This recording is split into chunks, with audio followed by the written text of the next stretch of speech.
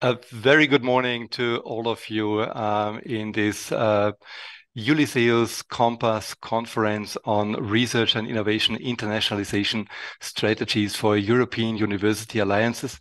It's a great pleasure having you here, and it's a it is a privilege um, not only to represent Ulysseus and and and and, and Compass in this conference, but to um, embark a journey um, the significant journey towards international cooperation in science and higher education. Uh, you know, we, we gathered today in order to, to express um, the EU global approach to research and innovation, which means that um, the mobilization of the world's researchers and innovators is one of the, the crucial challenges for all of us for the well-being of our citizens and future generations. And uh, we strongly believe that uh, global cooperation and, and going beyond Europe will be one of the cornerstones, not only of Europeans, uh, the European Union's research and innovation agenda, but also of European university alliances. So for today, um, we want to let you know that uh, we have split this day in, in two parts. The morning session uh, is about reaching beyond Europe, building collaborations outside um, the EU. And we are setting the stage for this discussion on how to foster strategic partnerships as European universities alliances. Um, I'm very grateful and, and privileged to welcome a distinguished group of speakers this morning. Um, the welcome and opening um, will be uh, by, done by Andreas Altmann, our rector here at MCI, representing MCI and uh, Ulysseus.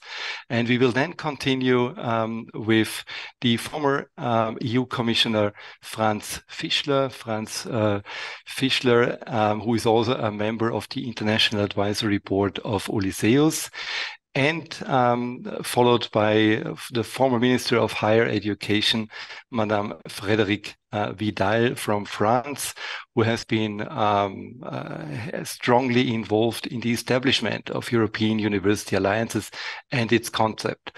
So um, after uh, these three inputs by our rector, by Franz Fischler, and by Madame Vidal, we will um, continue with a panel discussion and uh, followed by a, um, by some time and uh, where where we invite you to post your your questions.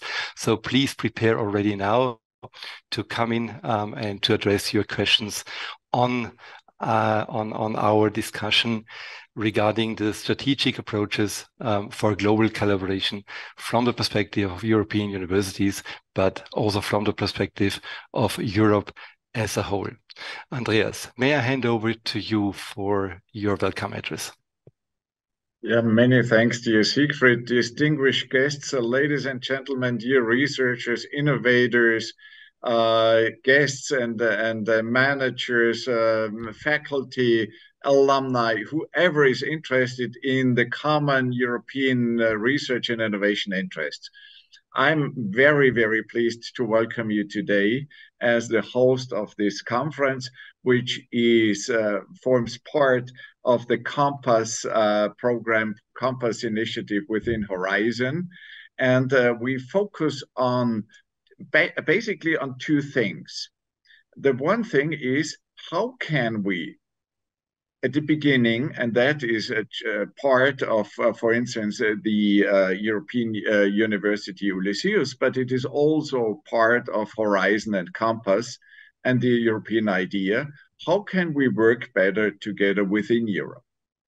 And we all know, we all are aware that there is one key on future prosperity, on future well being, and future cohesion, and that is research and innovation. How else could we encounter uh, new ideas? How else could we challenge and tackle the pro problems which are around, be it energy, be it uh, social cohesion, be it uh, technology, be it artificial intelligence, whatever. And we all know that each single institution, academic institution within Europe, is basically too small. and each uh, researcher is ba basically would be left alone if we all tried to tackle that uh, in a singular approach. And that means that collaboration, especially in the field of, uh, uh, of research innovation, is so important. And that is more or less the idea of Ulysseus and all the other universities uh, within the European University Alliance concept. But now talking about beyond Europe. And that is more or less the headline of uh, and and the, concept, uh, the mission of this little conference. Actually, Europe is the continent of uh, of dreams for so many people out there in, in the global environment. And we all very often within Europe question the role and the importance and the value of Europe. But looking from outside of Europe to Europe, we all know that Europe is very, very attractive and is a, a dream for many. But how could we embed them first of all, and how could we connect them uh, in the field of research innovation, and how could we actively reach out to them and get the best researchers and innovators and partners to work together with us? And that is basically the, the concept of this little conference and of going beyond Europe. And for that, I want to leave now space for my other speakers but uh, we have been already, as Ulysseus, we have been reaching out to a very, very nice university in Vietnam, uh, in Da Nang, and we'll sign the collaboration agreement, uh, the uh, the uh, association agreement uh, in in a couple of weeks. And there's already another university in Canada, but I now do not want to tell more. Many, many thanks for being part with us and happy to answer your question, uh, question whenever they come in. Thank you. Thank you very much, Andreas, for for uh, welcoming and opening this conference, uh, this Ulysseus conference. And uh, just for those of you who haven't been in, in, involved in uh, Ulysseus uh, up to now, Ulysseus is an alliance formed by eight universities. Uh, we are um, a, a, group that has grown over the last three years, and we are now assembling um, eight different countries in Europe, in, in, in one of the, the, the, candidate countries, which are the University of Seville in Spain, the University of Côte d'Azur in France, the University of Genoa in Italy, the University of Münster in in, uh, in, in in Germany, the University of the Technical University of Košice uh, in Slovakia, Haaga-Helia University of Applied Sciences in Helsinki, uh, the University of Montenegro, and last but not least, MCI, the entrepreneurial school. So we, we spread across Europe and we represent um, very different parts of Europe when it comes to these joint strategies in research and higher education. But before we go into the role of European universities, I think it's important to, to see the, the, the big lines in, in, in where European uh, where, where European politics or where Europe as a whole is heading to, or where it should go. Uh, what kind of directions we would wish for Europe, and who could tell us better than Franz Fischler. Franz Fischler, as a Dr. Franz Fischler, as a former uh, uh, commissioner for agriculture, I, I, think at that time um, uh, you have been responsible for half of the budget uh, of the European Union, if I remember that correctly. Uh, and you had to manage quite difficult challenges and, and, and crises at that time when I think about the, the, the, the cow disease crisis uh, when you were in, in, in charge and, and, and other challenges when it comes to fishery and the reorganization of, of, of fishery in, in Europe. Um, so you know Europe from inside and you have a very clear idea what Europe Europe is, can be, and and, and should be in the future. Um, and uh, after your role in the Commission, um, you have also led a think tank and a, and a uh, well in a known uh, conference, which is the European Forum Alpbach, that assembles thousands of, of, of, thinkers every year to to think about the, the future direction of Europe. So, who else could tell us where to go and and and and why a European university might play a role here? Please, Dr. Fischler, the floor is yours. Well, thank you very much. Uh, a very warm welcome to all of you from my side. Uh, I was told that I should uh, give a little bit a frame where we are uh, living at the moment here in Europe, but not only here in Europe, also beyond. And I'm keen to do that. And after that, I will make some comments about the scientific landscape in the future and also give some practical uh, ideas how we could make uh, progress in this field. So uh, let us be clear. We are now living in a different world, uh, in a new age. Since uh, Mr. Putin invaded uh, Ukraine almost two years ago, and even more so with the conflict in Gaza the European project as a peace project is at risk. The second remark I would like to make is that, that there is a, a power change in the world going on. So the new big powers are the US and China. And uh, there's a risk similar to the risk which we were facing when the European Union was founded, uh, that we would be squeezed between these two big powers. So therefore, we have to find our role in the world. Uh, third comment I would like to make is that um, the European values, uh, the science uh, is one of these European values. Uh, and uh, these values are primarily coming from enlightenment. And here I think we must be very careful to keep these values and to promote these values worldwide, not only here in Europe.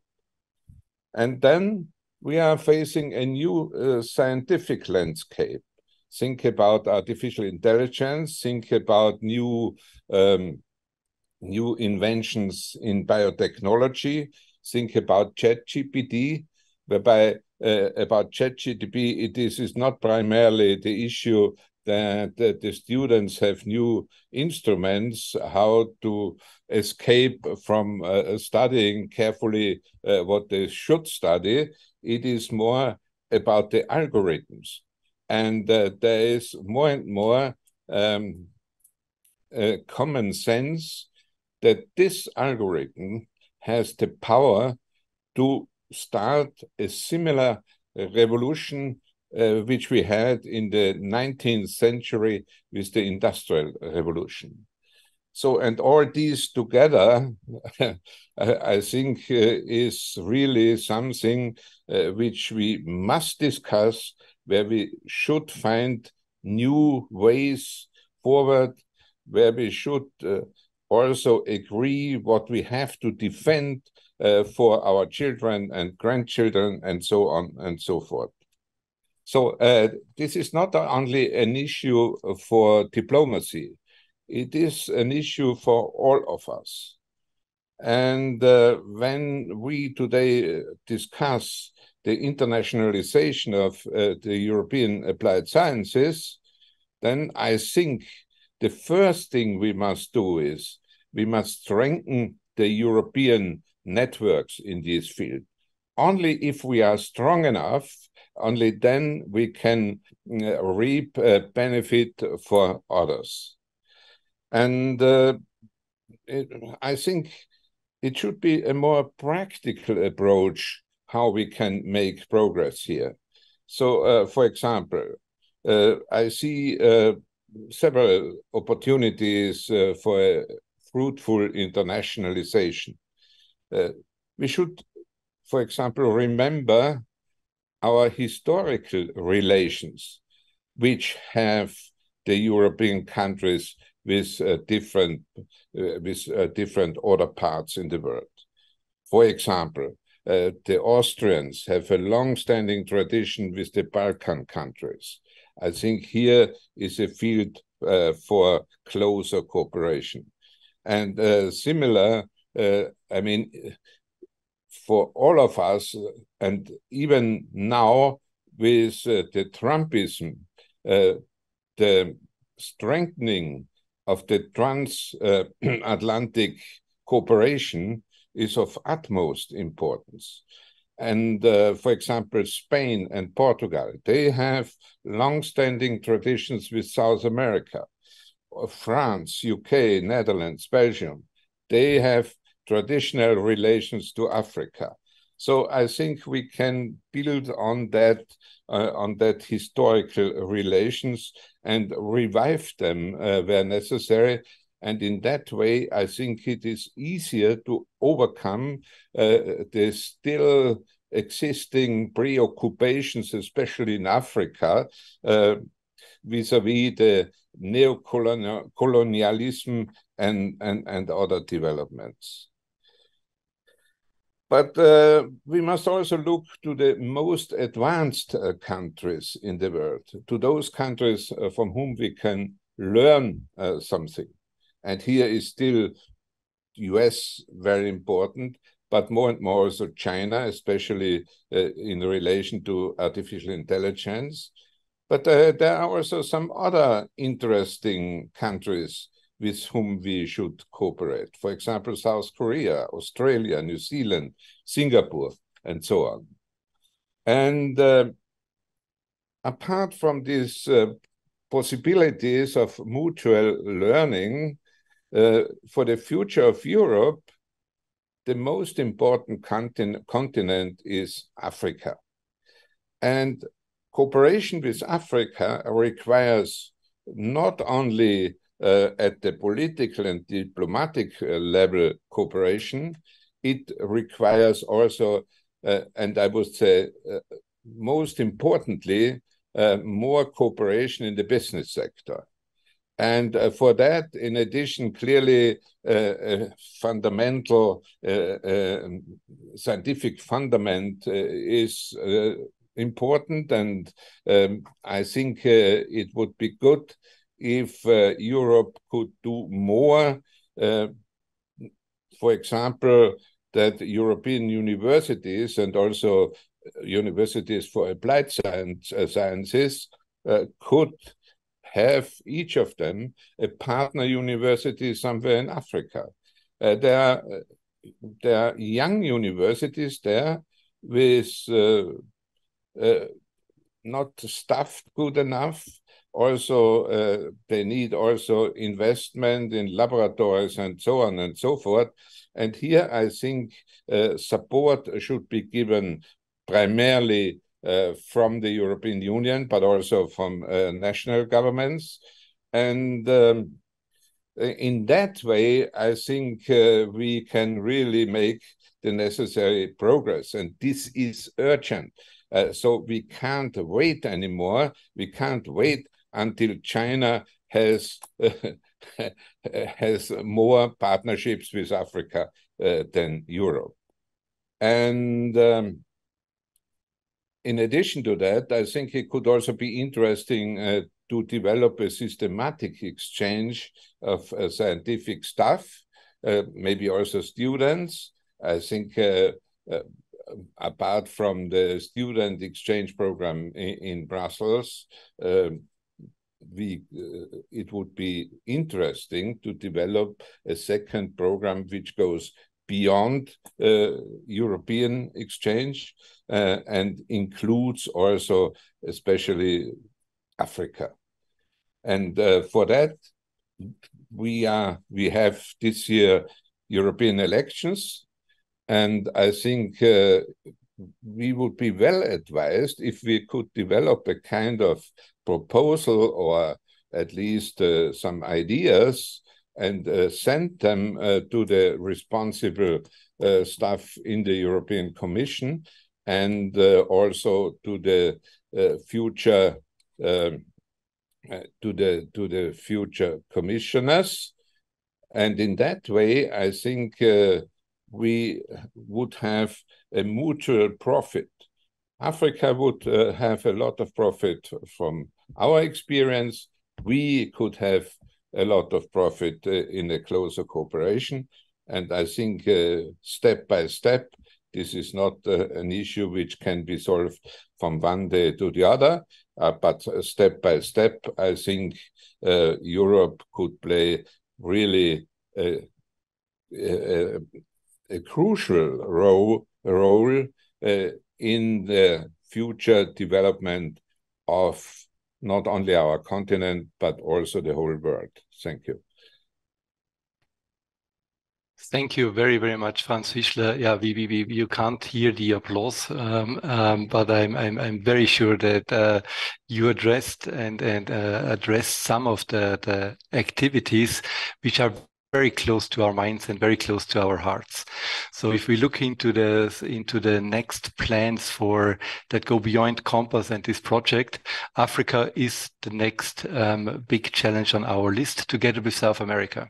So in Ulysseus, our rectors have uh, assembled and decided that um, after opening a branch in Asia, which is now Vietnam.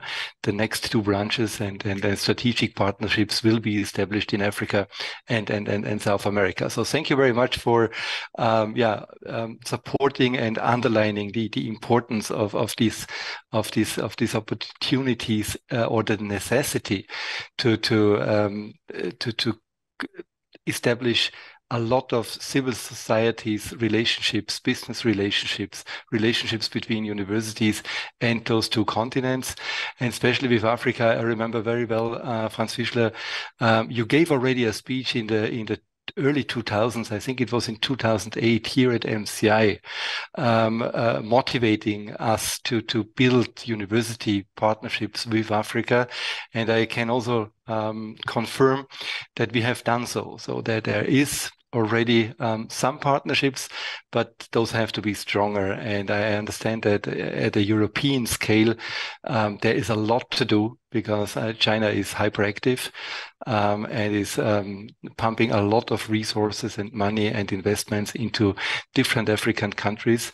They do not always connect that to values or European values or to human rights, which makes it um, for some of the countries, um, yeah, somehow easier to to to to connect with with China and and and and here we have to build on our tradition on our uh, heritage um, but also we also have to make sure that we overcome our colonial hangovers in the different European countries uh, in, in, in order not to enter in a, in a new neo-colonial uh, attitude or, or behavior, if I understand you correctly.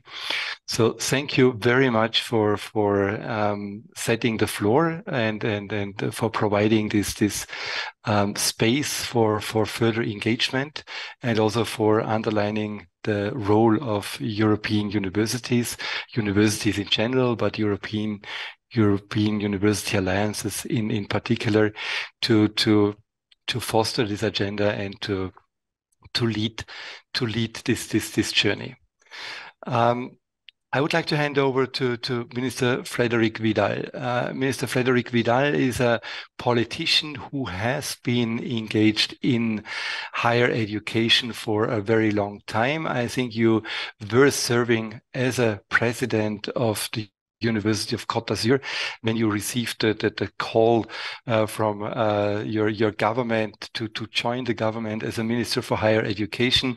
We also work very closely together with one of your colleagues, uh, Stefan Gomay, who was with you when you received that call and who joined you also on that journey for, for quite a while. And, and, and, and that's why we know how much you have already contributed to this European University Alliance um, program and, and that you are still supporting the agenda at the European level, at the level of, of, of the, the, the, the National uh, Ministry of Higher Education in France, and uh, as a as a researcher and university manager. Madame Vidal, please, the floor is yours. Thank you. Thank you very much for the invitation, and uh, uh, I'm really very very pleased to be with you and to share my vision of the role of European alliances in international cooperation and the impact of uh, close coordination between science and diplomacy. First, maybe in a few minutes, let, let me remind you what are the general objectives of the alliances. First, it was to achieve an optimal scope of cooperation, to be more visible internationally. And of course, to be able to produce high-end research contributions in global challenges be also able to recruit the best professors and researchers attracted by the international challenges led by the alliances. Also contribute to the regional and to the regions where the alliance campuses are located with societal reach.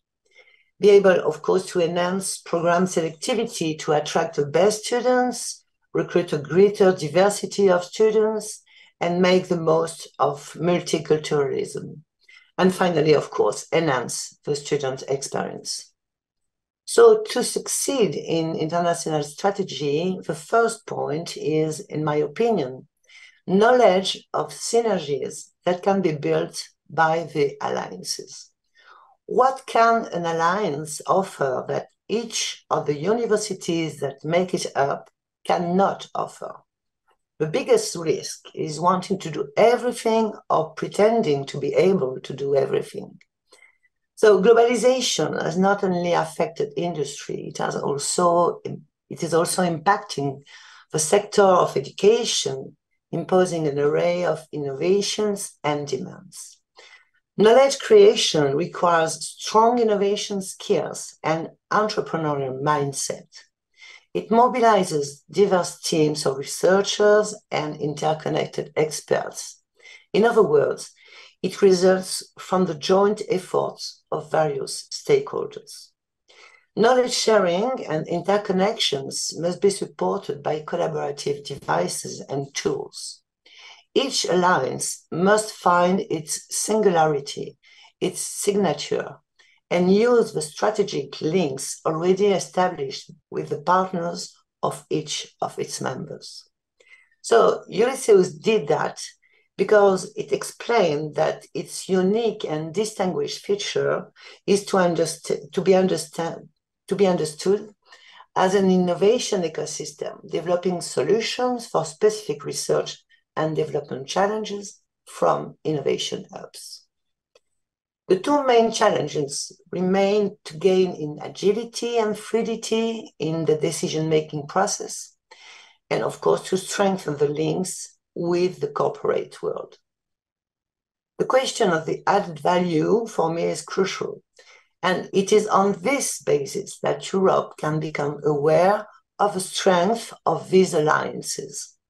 It is necessary to move forward on the question of the legal personality of alliances on the question of mobility of students and researchers, on the question of attractivity, and on the questions of specific and long-term fundings. The second point uh, to construct an international strategy is to understand what are the expectations of the countries with which an alliance wants to cooperate. Very often, scientific and academic cooperation is based on interpersonal relationships. Of course, it is important and it must continue within the framework of relations between research laboratories. But this has nothing to do with an international cooperation strategy. The real added value is found in the framework of cooperation based on the expectations and needs of partners and in connection with diplomacy. And this subject of the strategy also raises the question of the level of training to be co-constructed between higher education establishments to participate in the competitiveness and in developing the economic fabric of the other regions. What are the employment market needs? What the skill needs? And how do we build a network that will ultimately ensure the academic, scientific, and innovation autonomy of the countries concerned? The final objective is to allow students to find a job at a large variety of companies in their country of origin or internationally.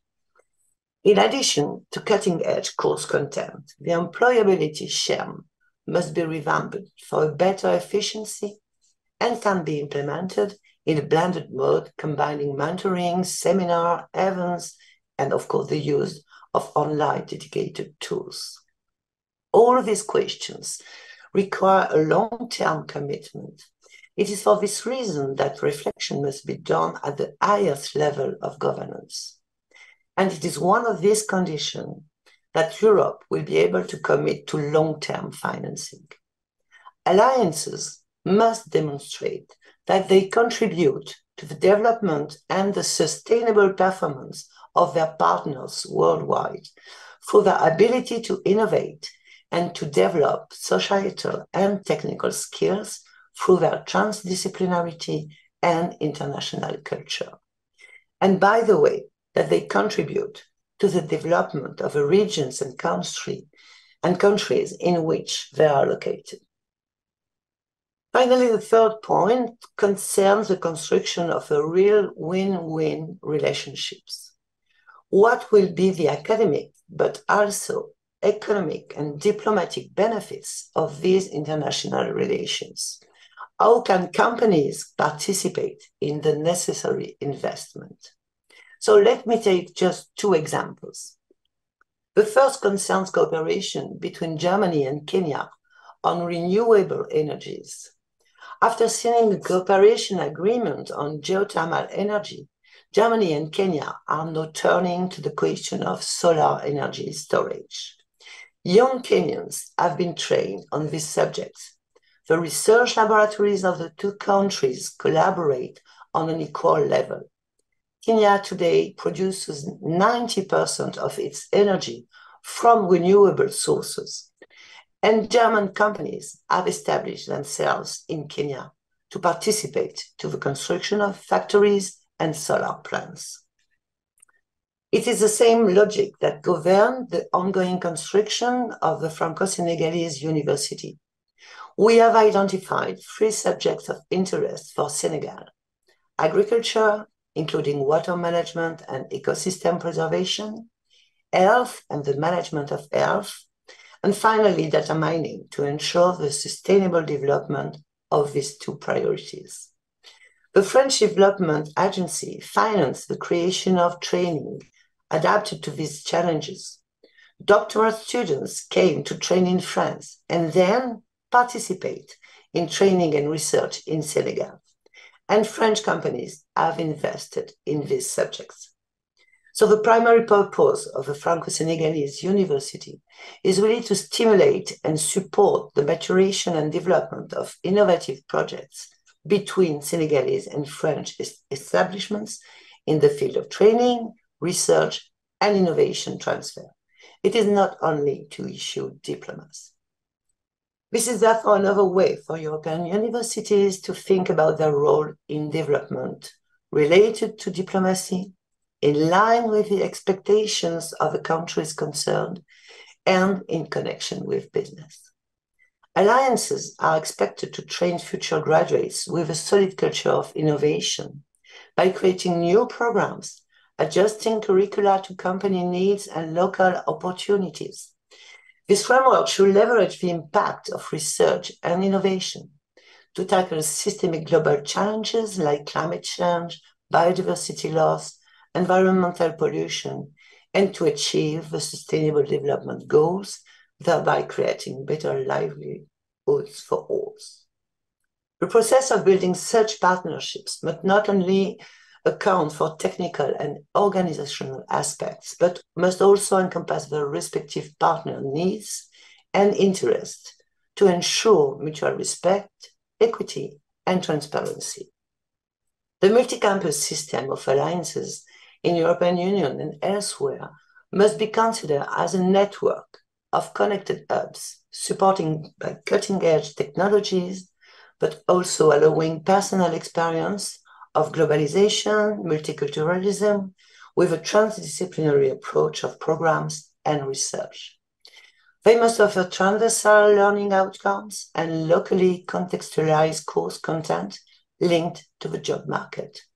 Consideration of economic, environmental, societal stakes in all programs to foster students' understanding of the contemporary world and the ability to see the world as a sandpit for creativity. Innovation must be considered as a driver of development and change in all fields entrepreneurship, pedagogical innovation, research. And it means, it means evolving in synergy with local and international companies to develop students and future graduates for a globalized world who are responsible, open, mobile, with a respect for diversity, and ready for jobs anywhere in the world. And it means asking the companies to invest in alliances. To conclude, I just would like to mention that it is not only universities that must change their mindset in building international cooperation.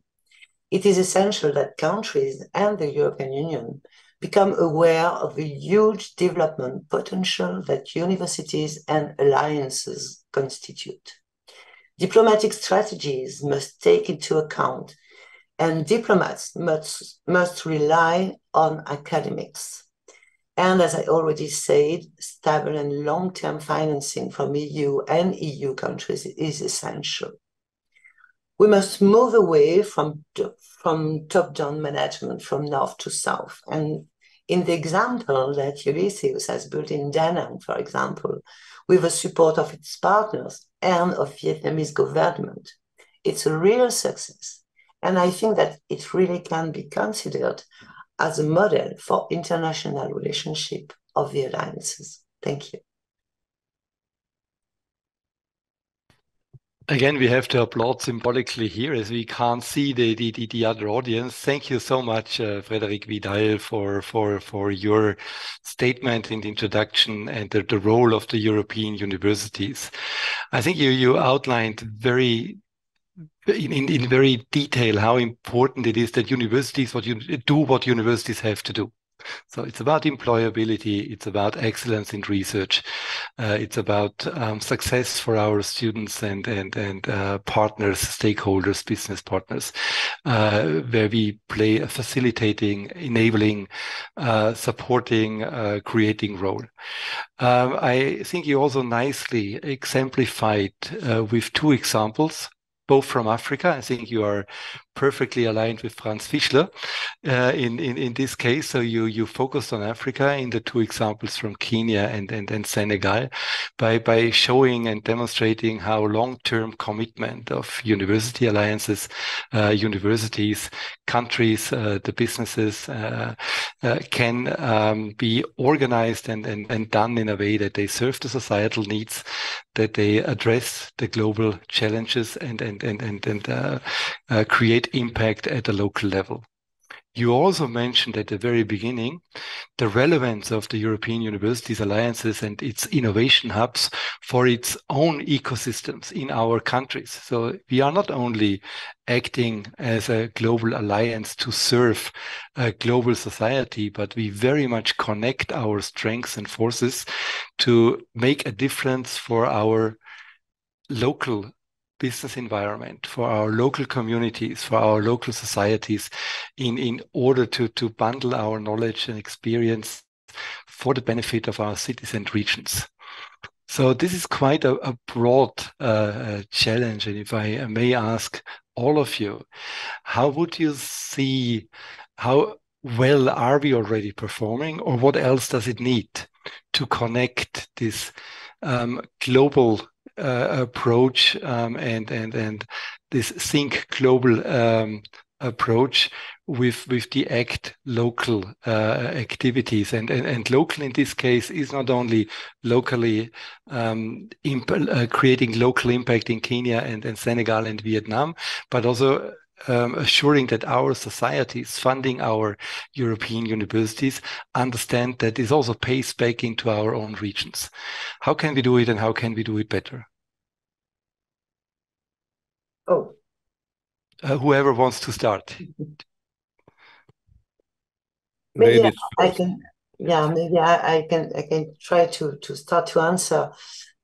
Yeah, probably the the um, most important thing is to have a strong connection and to be confident between universities, uh, companies, and stakeholders in, in, general and citizens.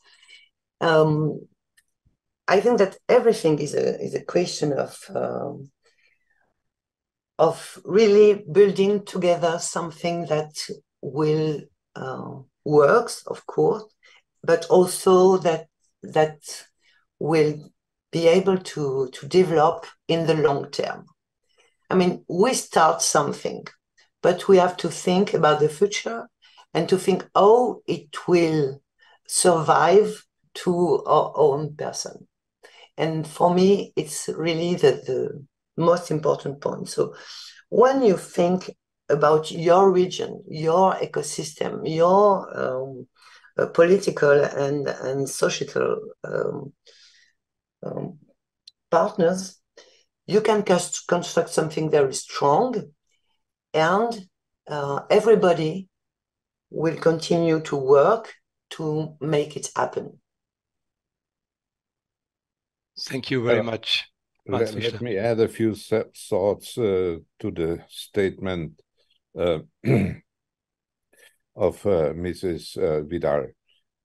Uh, first of all, I think it seems to me that if I take again the example of Africa, but it's not only with Africa, it's almost in all the underdeveloped uh, world, in all the developing countries, the same.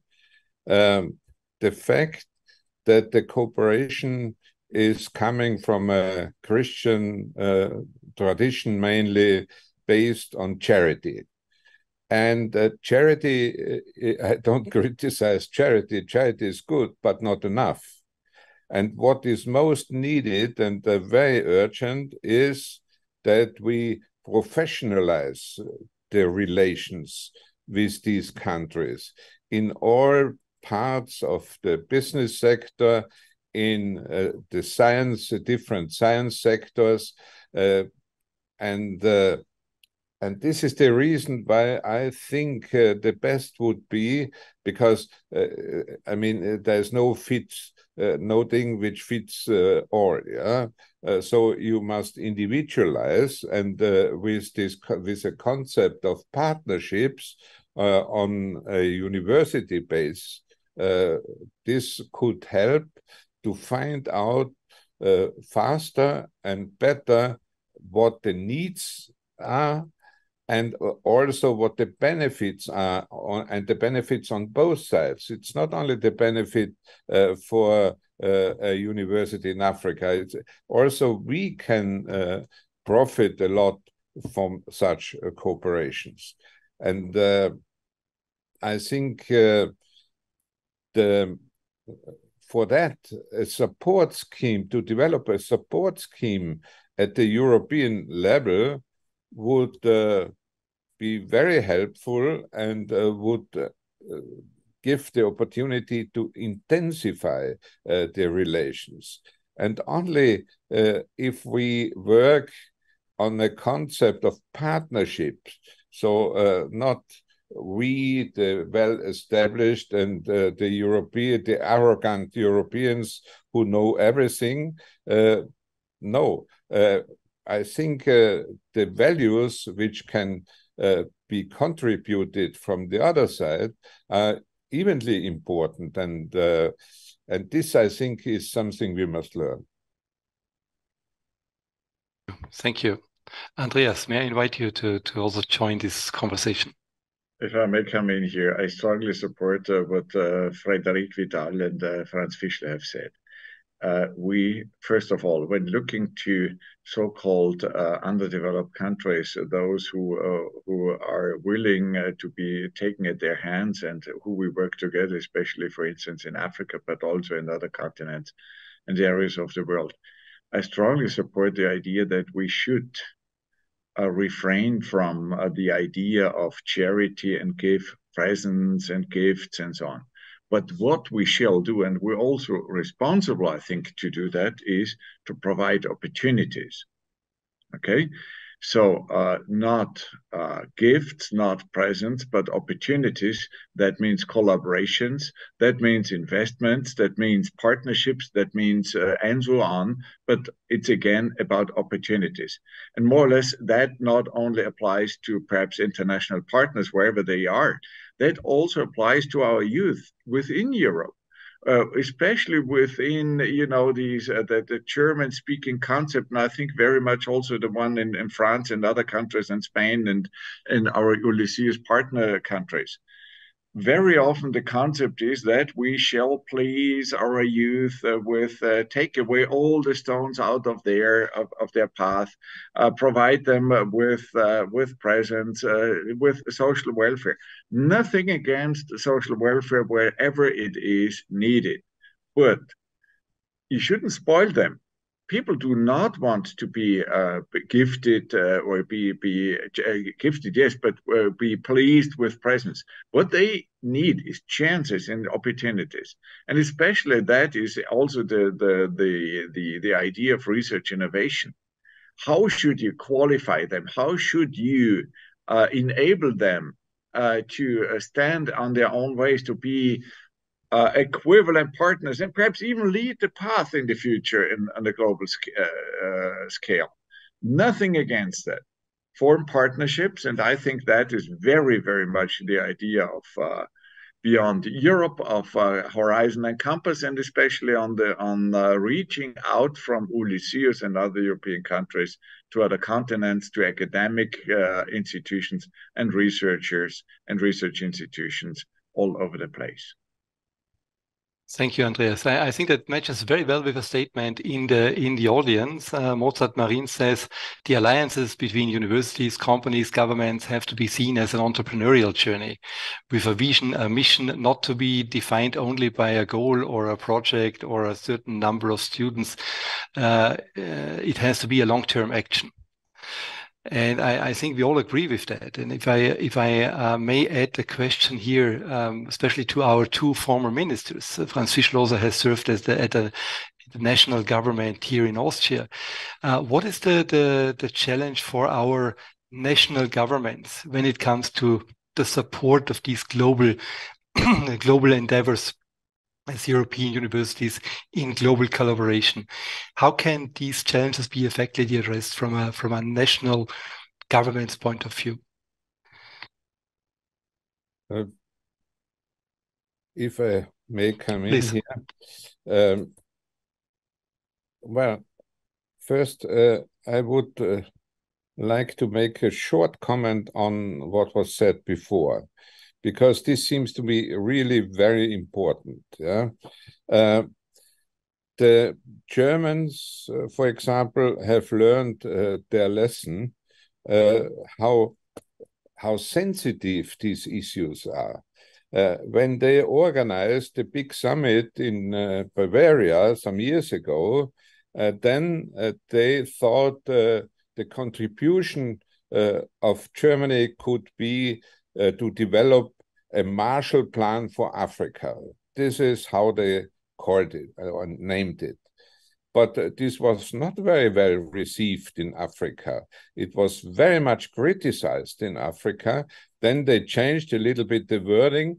They, the Germans said then, well, a, a Marshall Plan with Africa. Uh, and uh, also, this concept was criticized by the Africans because they had the feeling it is again the dominant Europe, like uh, Mr. Marshall was for the US, uh, representing the US after the Second World War, and uh, they uh, and the Africans have to accept what uh, the Europeans are telling them. So uh, I think this is not the right way. The right way is exactly what how it was described before. Uh, the second, uh, your question uh, in relation to the national responsibilities. Well, here the situation is very much uh, different uh, because we in Europe we have countries without experience of colonialism. The Austrians, for example, had never a colony, but others had colonies, and um, you can also see the difference between East and West Africa, uh, how long uh, these the effects of colonialism are still important nowadays. Uh, so uh, we, for example, in Austria, primarily uh,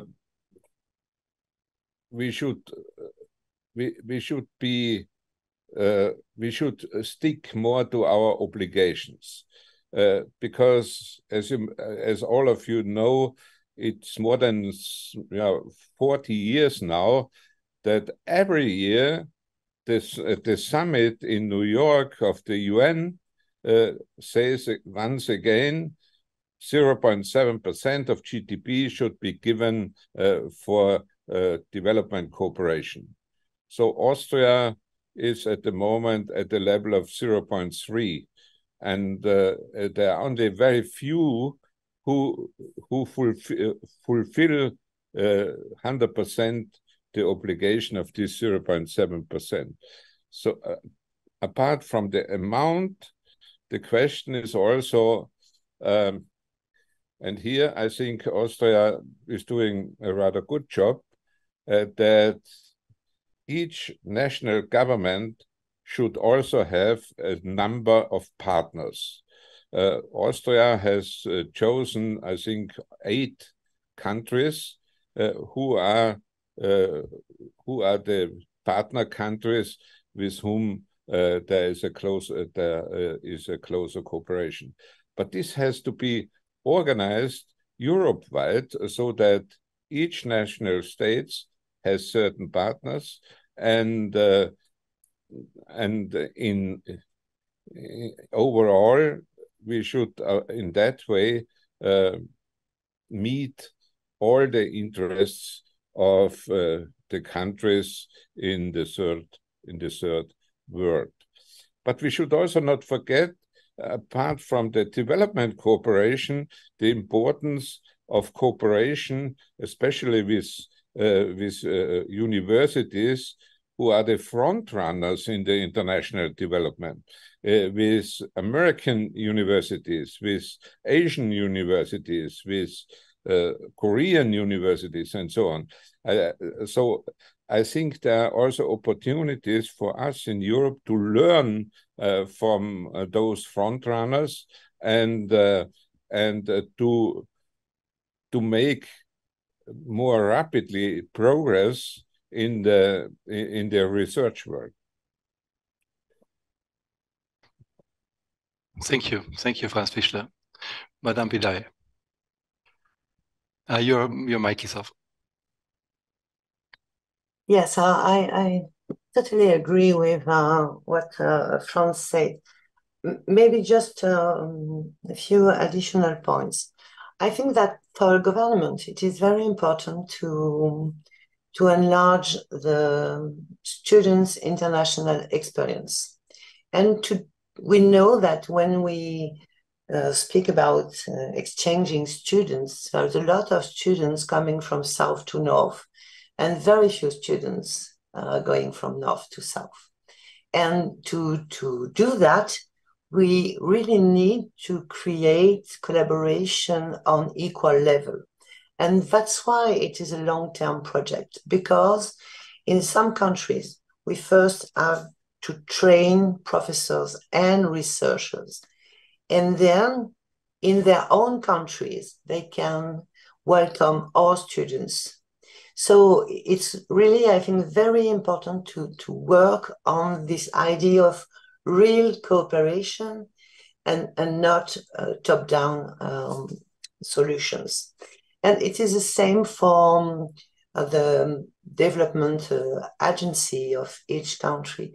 Um, the question is the question of influence.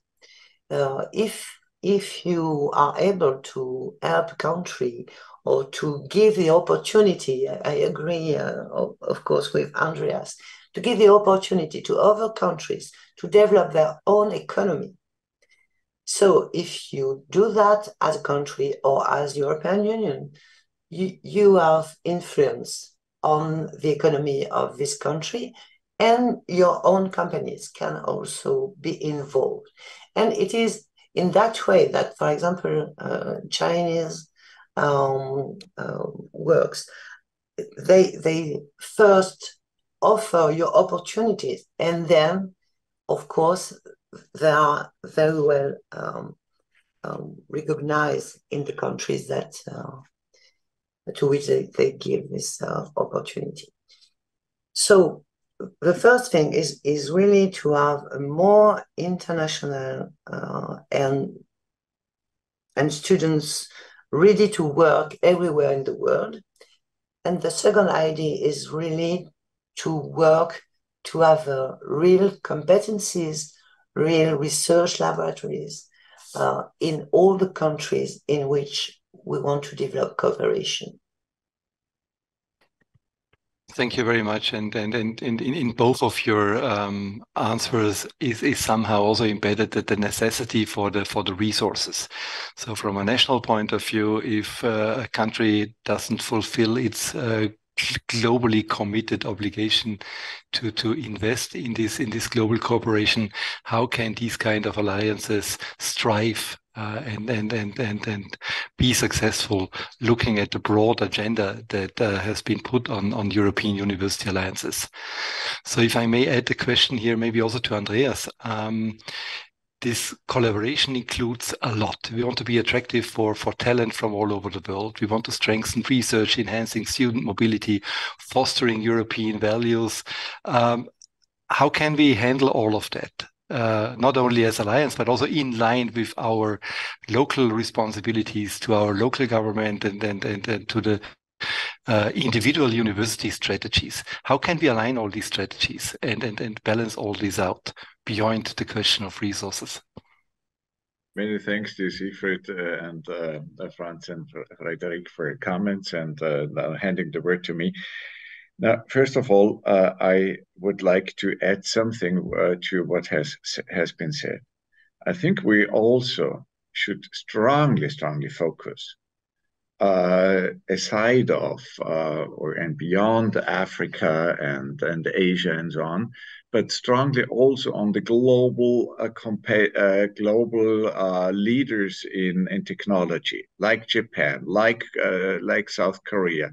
France, you've you've mentioned that on Taiwan and so on, as this is also call it a global power play of values uh, of, uh, of uh, strategic interests and so on. So uh, also try to bring them in into our boat to connect to them to to uh, work together with them and to uh, and to create win-win opportunities. That's the one comment i would like to add. Now how can we align these different expectations interests and so on and and uh, now uh, we all have uh, some duties or expectations or a mission to play it in, uh, in our home countries and perhaps in our own regions. I think, again, the idea of opportunities uh, is of value. Now, where, if not at the university, where, if not when studying, shall you prepare as a young, uh, uh, or shall we prepare our young generation to be global, uh, to to to have global knowledge, to create global networks, to understand other regions, other thoughts, our cultures. How, where, if not at the university when studying, and then doing research and innovation, where and when, if not then and there, uh, shall they learn how to move in an international cultural environment. And I think that is already, that more or less answers uh, the value of uh, of our missions and ambitions and and efforts in our home countries and then strongly or stronger focusing on research and innovation that creates opportunities for our students here it creates opportunities for our corporate partners it creates opportunities for our society to create to uh, create wealth prosperity chances opportunities uh, wealth, but again, uh, technology innovation. So important. But again, I think the joint mission and the joint thought, the joint, uh, uh, the joint, uh, the joint basis of this beyond Europe, of Compass, and uh, now in this case, Ulysseus, is to provide opportunities, to create partnerships, to to avoid the the the, the idea of charity, but uh, to learn from each other and also please not just to provide opportunities to African countries or either or call it in uh, be it in in the Middle East or in India or wherever, but also to learn from them, see them as partners. Uh, I like the idea and and and the, the the perception and also the expression of creating the Marshall plans with them, uh, working together with them, but also learn from them and and and create win-win opportunities. I think that is what can align uh, and uh, the the uh, our uh, these different interests and also the expectations we have to fulfill in our home countries. Thank you, Andreas. Thank you so much. Um, I would like to, turn now to some of the, questions that have been posted in, our chat. Mozart Marines uh, is um, confirming, underlying what, what uh, Franz Fischler said uh, about uh, the the Marshall Plan initiative for, for Africa that, that sometimes policymakers forget to ask those who are affected by these uh, initiatives. And she brings in another example from England where uh, coca planters were not uh, being involved in a plan to um, help them to develop into potato uh, farming. So one other example, Siam Mansouri asks, um, I totally agree about the idea of equal collaboration. Um, and for this purpose, European universities need to look for and accept those cooperations with universities um, from what you have called under uh, developed countries. Um, they are also trying to meet international standards and to get accreditation, for example. So if I understand that correctly, it's also uh, one of our roles not only to to collaborate with those who have already developed all standards and who have already um, been accredited uh, along all kind of international standards for higher education and science, but also to to to develop and to work with those who are ambitious to work with the European University Alliance, but who need some capacity building support. And I, I think there is funds, especially for this type of capacity building. Um, John Rowell from University of Côte d'Azur asks, how can individual research institutes in a university uh, um, alliance contribute to participate in and benefit from the international strategy? So what is in there for individual institutes? Um, Madame Vidal, I, I know sometimes it's quite challenging when you build a merger you merge different universities as you did in Nice. You know, now the University of Côte d'Azur assembles a, a, group of universities, and suddenly the researchers had to change their affiliations. Um, how is that when you when you convince researchers and institutes to to change their affiliation and to use the University of Côte d'Azur and, uh, and and and maybe not the the individual institute for for their research? In fact, it is exactly the same mindset as uh, we spoke. Uh, you have to co-construct. I mean, um, if you sometimes you have um, laboratories or researchers who wanted to be leaders in this kind of uh, cooperation, and of course you must rely on them. You must ask them to co-construct projects and then uh, when the other can see that the experience is working very well, they also wanted to join. So the first thing is really to define a strategy. I, I really think that you can't say that you can do everything. You have to choose where you are strong to do something. Then you have to construct the project with all the stakeholders, of course, researchers, but also uh, citizens, companies, uh, regional authorities, local authorities, in order to really understand what is needed. Because if you answer to a real need, you will succeed. If you try to imagine what are the needs of other people, you will probably fail. And, and then you can start with few people who are attracted by this kind of challenge. And then by the example of success, you will attract all the others. So the question is, is really construct the project and then put the right boxes for uh, organization and, and so on. But don't start to draw the box and then say to people, go inside. It will not work. Thank you. Wonderful. And if I may uh, use this co-creation approach also to, to reflect on the comments from Siam Mansouri and, and Mozart Marines. Um, but before I do that, Franz Fischler, you raised your hand, please. Yes, uh, I would like to add something uh, because uh, these very practical questions are very important uh, for the individual universities. So, first of all, uh, it must be clear that uh, there's a difference between the possibilities which exist at the national level and the possibilities at the European level. And at the national level, I think there is the best way to to get in contact with the responsible ministries. Uh, but I would recommend uh, as one possible outcome of our conference today uh, that we make aware the responsible people in Brussels of uh, what we are willing to do and uh, that there is an interest for more international cooperation.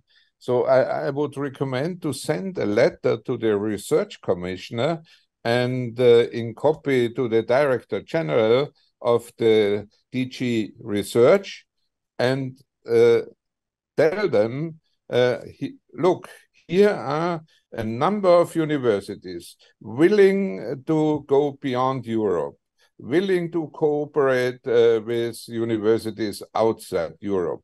But uh, to realize or to, to make this uh, happen, uh, we need uh, whatever you then uh, write in the letter what the needs are. So I, I think we should be very practical in these things because if we only discuss amongst us how important all these things are, I mean, we must not no longer convince each other. Uh, we are all on the same line.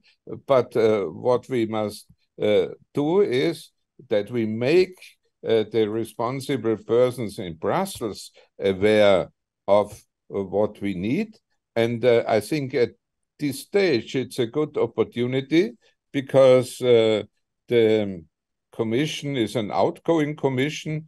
So uh, maybe, therefore, they could uh, add to uh, something to their programs because the uh, the practical problem for them is that they can only act within an existing program and what we would need are some uh, additional elements in the existing programs or uh, a very specific programs for those what we would like to do.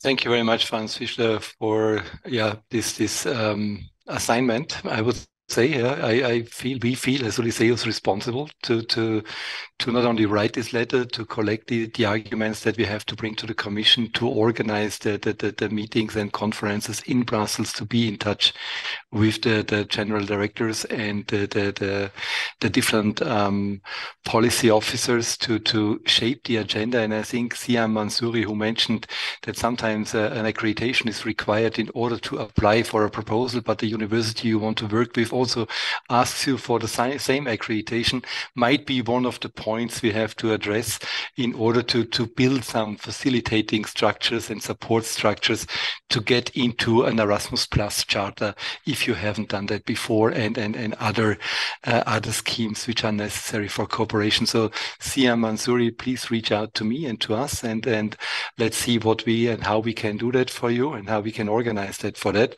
so that we build an umbrella that is a bit wider. Um, thank you for the uh, for the comments from the audience. We are moving towards the end of this morning session. I think we have a few seconds um, less uh, left, and I, therefore I would like to move all further questions to the afternoon session, which starts in in one hour. Um, we continue at 12.40 um, with uh, Stefan Berghmans from the European Universities Association, to make it correct now, um, representing universities from all over Europe and, and, and also supporting the different alliances with a lot of accompanying policy work and, and, and, and research. And he will be um, uh, joined by Jessica Schüller and uh, Jason Lane, both from C-BERT and uh, specialist uh, experts in cross-border and international higher education and research cooperation. So we will continue in exactly one hour, and I would like to to to leave the last uh, word to our three um, panelists um, in, in, in order to give us a, a, final advice or your dream for Europe and, and our role as European universities before we close this session. Please, in, in, in this case, I would like to, to start with Andreas as you started um, already in the morning, please. I think uh, the European university idea has been uh, prepared to uh, pursue dreams and the dream to make Europe again uh, one of the and keep Europe and make it uh, uh, to one of the global leaders in technology, innovation, research, and so on. But not to do that alone, but to reach out uh, and connect with the world and to create win-win opportunities. And that is, I think, what shall be done. And that is also what we at the MCI within Ulysseus, what we work uh, strongly for, and uh, that we, we will be happy to share this dream. So I think uh, more or less that is our joint mission and dream. Thank you, Andreas. Uh, Madame Vidal, please. Thank you. Oh, if, if I have a, a wish to, to do is really to, and um, what uh, Franz said is really very important, to really make the link between education and research at the European level for European alliances. We, we can't separate education and research and innovation in the alliance and if we want to have a, a real impact. So for me, it's very important to, of course, uh, be in, in link with uh, uh, DG education, but also with uh, DG research. And I think that um, in that case, we, we can really dream to inspire again um, all the young people everywhere who really wanted to, to have an impact. You know, when you ask the, the youth what is important for them for the future. They all say that they want to have a life with sense and that they want to have an impact on the society. And I think that we can do that with European alliances. Thank you. Thank you. Franz Fischler, bitte. Well, there's not much uh, to add uh, from uh, my side, uh, but maybe one last thought. Uh, and this is I think, uh, in my view, to some degree, what we are discussing here when we speak about universities is uh, self-explaining insofar that in, it includes universal. Yeah, and being universal is the job of universities. And if we go along that line, I think we are on the right track. Wonderful. Thank you very much for these encouraging words to, to all of you. Thank you very much for the profound and powerful discussion and for setting the stage for our Beyond Europe uh, conference, but also for the Beyond Europe activities uh, in Ulysseus. I'm very much looking forward to the next session in the afternoon, sustaining international R&I collaborations outside the EU, challenges and success factors. We will go into some more details. We'll move some of the questions from this morning in the afternoon. And now I wish you a nice lunch break and see you at exactly 12:40 again here. Thank you very much. Thanks, Siegfried. Welcome back, everyone. Um, I'm very happy to be here with you um, for the second part of the session of this Compass conference on Beyond Europe. Um, the second part will be addressing the topic of sustaining international research and innovation collaboration outside the European Union, challenges and success factor. Um, this afternoon, we're going to have uh, three speakers um, that we are very, um, very happy to receive today. Um, the first speaker is uh, Stefan Berghmans, and he's the Director of Research and Innovation at the European University um, Association. Um, the European University Association is a forum that enables cooperation and exchange of information on higher education and research policies. so thank you so much for being here, Stefan. And Stefan will be um, talking about challenges in sustaining international R&I collaborations.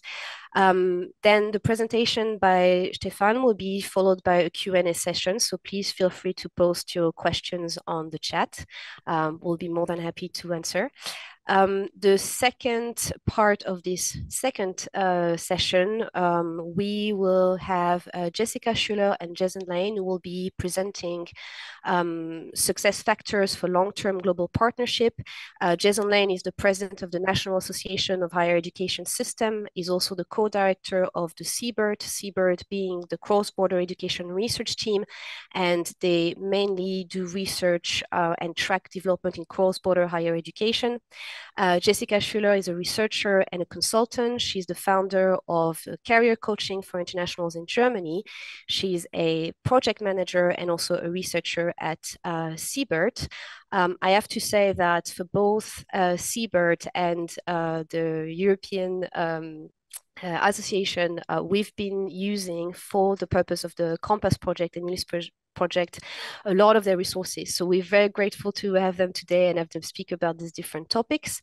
Um, I will give the floor to uh, Stefan uh, if you want to start.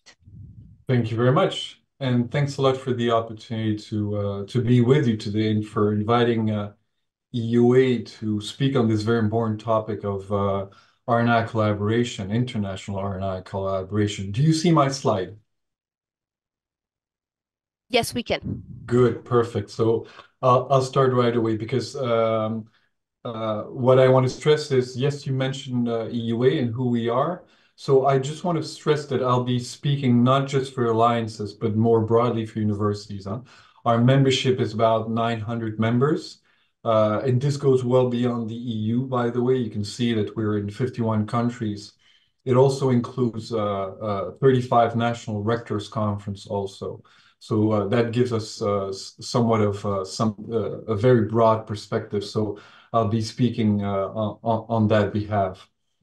And what I want to do today very quickly is first give you this overall perspective for universities. That includes the agendas We've developed an EUA for uh, research and innovation.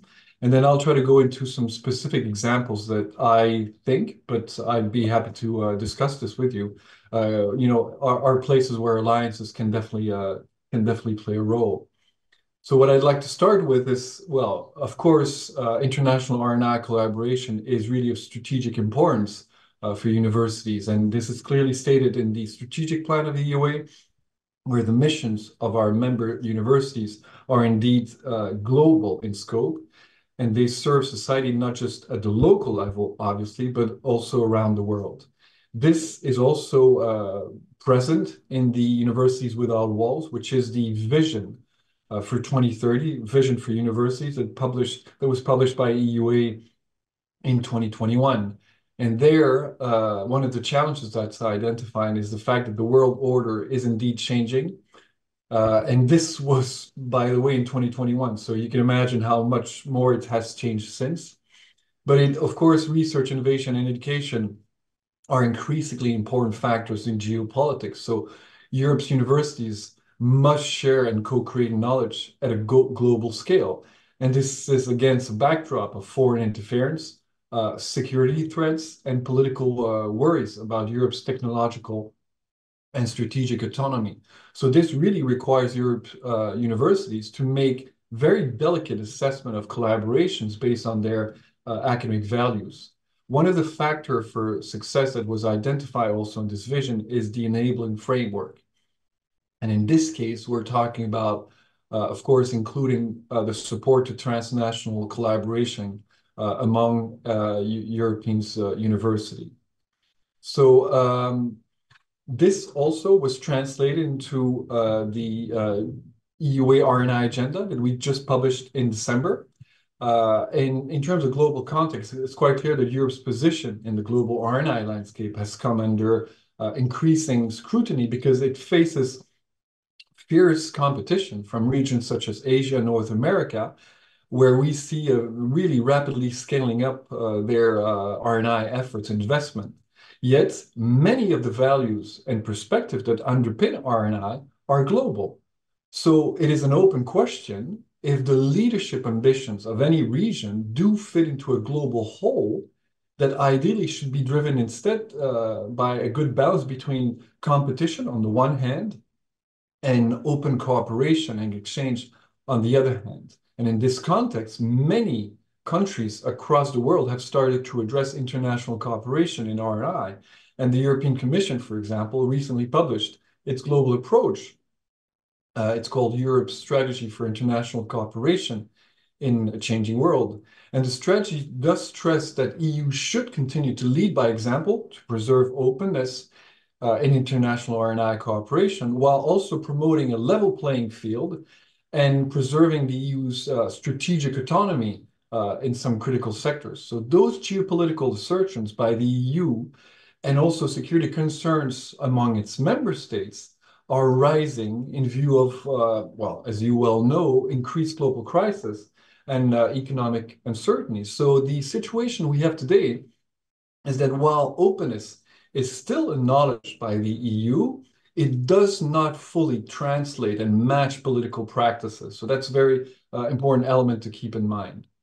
Um, so within you know our R&I agenda, we do provide a global context, and uh, we are in this case really in a in a process, in an ongoing process, and one that is trying to reconcile uh, this commitment of Europe to openness, as I was mentioning, but also the political commitment to leadership and autonomy. So rather than seeing this in terms of rivalry, a more constructive and globally beneficial outcome could depend on Europe accepting that a truly open international context may also facilitate leadership uh, from newly emerging science powerhouses, at least in some uh, areas of, uh, uh of research innovation. And so therefore, even if openness bolsters contenders uh, for global leadership uh, at the expense of Europe's front-runner status, these contenders should not automatically be seen as rivals as long as scientific cooperation remains possible. And of course, maintaining such cooperation is really crucial for Europe's universities because, as you know very well, uh, universities are engaged in R&I partnerships around the world. They build bridges through projects between different universities, but also between different countries, different stakeholders. So while R&I needs to be above politics whenever possible, the uh, EUA, in its response to the European Strategy for International Collaboration, did stress that for universities, there is and there must be an international role. Universities should not only be instrumental for foreign policy goals, but more importantly, universities need to be central, independent, and active institution in global R&I co cooperation. And universities can strive for openness while still managing the risk of foreign uh, interference. Uh, so now let me go to the three priorities actually of the EUA R&I agenda. Uh, you see them here. I'll focus first on priority number three, which is about championing a well-designed uh, and sustainable R&I uh, system. And there you can see that one of the key elements uh, is collaboration towards this uh, Vision 2030 that EUA uh, has. So what we have is in for collaborations, we have three objectives really. And one is about the fact that, of course, uh, the transnational R&I collaboration has increased, uh, and this is in the context of the EU programs initiatives, but also notably uh, the, the framework program, and of course, talking to alliances today in the context of the European Universities uh, Initiative. So that's quite important. And we need to have the right funding and the right regulatory framework here. We also stress the role of R&I infrastructures. And here, I think alliances also have a, role to play because these can play a role in capacity building, but more importantly, also collaboration. This can be international also. So there too, funding, uh, training, broader access regulations need to be uh, right. And then finally, the topic that I already uh, touched upon, which is security. And here I think that this is affecting the uh, the um, you know potentially the universities in terms of their academic values, but also their performance in, in, in research innovation. And so we need to understand, to monitor, and to respond to that uh, very very carefully. So that's why uh, what we aim to do, but I think alliances can think about also their role here is definitely we will be looking into uh, the uh, R&I collaboration schemes that exist uh, Uh, in Europe and globally, including alliances. So very happy to collaborate on that. Uh, we will promote, of course, uh, the role of uh, research and innovation infrastructure. Uh, that includes, of course, for collaboration. And as I was saying, we will monitor very carefully the potential impact on universities of security. So now moving still within priority three, another strong element that you can imagine even for collaboration, of course, uh, is the funding aspect. And here, what has been emerging this year and which will be with us for the next uh, uh, few years until 2027 is definitely, of course, the next framework program, uh, FP10. There we have we are preparing right now our vision. We're finalizing it. So I can already share with you that within there, we've got some recommendations and some you know, are calling for providing more funding opportunities for collaborative research uh, projects. So that's clearly something that uh, uh, you know collaboration stands out as a fundamental strength of the uh, framework program, and that's you know cross-border, but also intersectoral partnership. And of course, here uh, it could increase the program's impact, and FP10 should strengthen the relationship between all R&I actors, including the international one. There's also recommendation about ensuring responsible openness as the default option for global cooperation in FP10.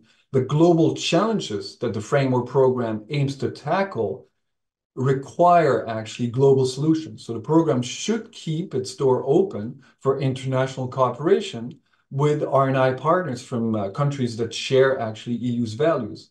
And in this context, strategic autonomy needs to be a very specific exception to the rule by carefully identifying the areas and the sectors where it should take precedence over collaboration uh, with global uh, partners. We also have in the uh, uh, in our vision that's coming a section on international cooperation. Here, in terms of context, uh, it's clear that the framework program uh, does stand out as a crucial instrument to advance EU global ambitions. And the program's international openness has played a, a real pivotal role in fostering collaboration in R&I beyond the EU. Uh, and integrating, for example, a science diplomacy approach within the program has been particularly uh, effective. We also see that there's, as I said, growing political tensions. This was mentioned this morning also, and rising global challenges are currently uh, creating a new paradigm uh, for international uh, cooperation. No need to go further. But finally, also a complex landscape that regulates the access to associated and third countries to the various components of the framework program have emerged.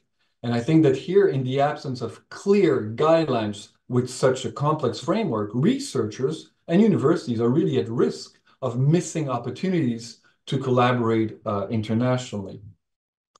Um, so that's why we have those other recommendations. I mean, one you've seen before about uh, ensuring the uh, responsible openness. I won't go over that, but also the one about identifying, you know, selected research areas where strategic autonomy uh, should uh, should be favored over international cooperation. But again, very careful risk assessment is needed here, uh, obviously.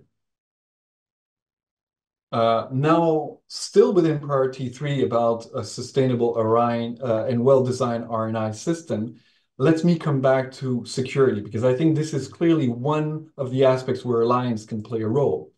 Uh, when we, and, I've mentioned, of course, the impact of the topic of knowledge security, you know, on academic values and, performance of R&I at universities no need to re-explain that. But I think that one of the elements also to stress is uh, that we need to have a well-balanced uh, and risk-appropriate approach because we need to recognize the importance of a, key value for universities, which, which is autonomy.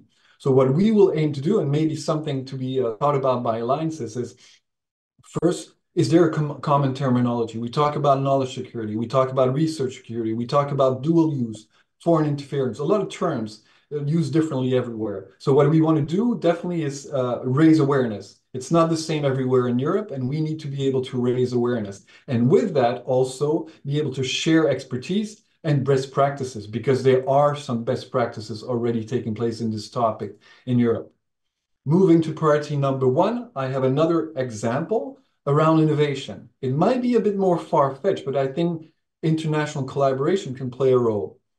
Priority number one focuses on a comprehensive understanding of innovation. The Commission in Europe has a view on innovation that's very much geared towards technology and commercial outputs.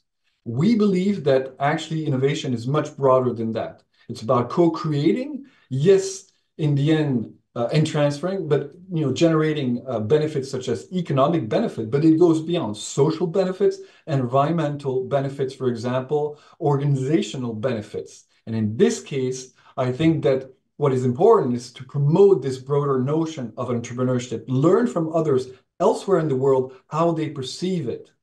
Uh, exchange with them on this topic because the idea also, and that's another important mission of uh, alliances, is you know the, the training, uh, the education. So it's also about integrating entrepreneurship in this broader context within uh, all study programs, but also for staff themselves. So there, I think uh, alliances could play a role. And that's why we think that there should be uh, a facilitation of inter-institutional uh, dialogue and collaboration on boost, boosting this role of entrepreneurship in training, both for staff uh, and, and for students. And then what I'd like to finish with is priority number two. This one is about uh, uh, R&I cultures. And here I think there's clear role for alliances to play around assessment and more broadly open science. Because within our open science agenda at EUA, we clearly make the point that to be able to mainstream open science, it's now a global uh, endeavor. We cannot do it without participating with other stakeholders around the globe. And here, what we have is that we've seen policy frameworks emerge uh, beyond Europe. And so international collaboration is the only way to go forward to implement open science. Uh, it's recognized by uh, UNESCO. We at EUA, of course, will continue to work with other global partners, DORA, RDA, etc. But I think this is where alliances, where most, if not all of them, have open science within their uh, missions, uh, have actually a big role to play because they will be able to influence other players in you know globally with whom they collaborate. If we take the specific uh, aspect of uh, priority number three for us, institutional approaches to research assessment, what we've started to do is implement actually uh, uh our vision actually into uh, COARA. So the agreement on reforming research assessment that uh, we published with, with Science Europe, with EU and 350 other uh, stakeholders back in July 2022, and in, are, are, you know have started implementing in the context of the coalition COARA. I think what's important to stress is that universities have a huge role to play here. Alliances, some alliances are already member, and you can see that more than 60% of membership are universities. That's why universities can play a, a role here. And not just that, what we see is the initiative is still at this level very European.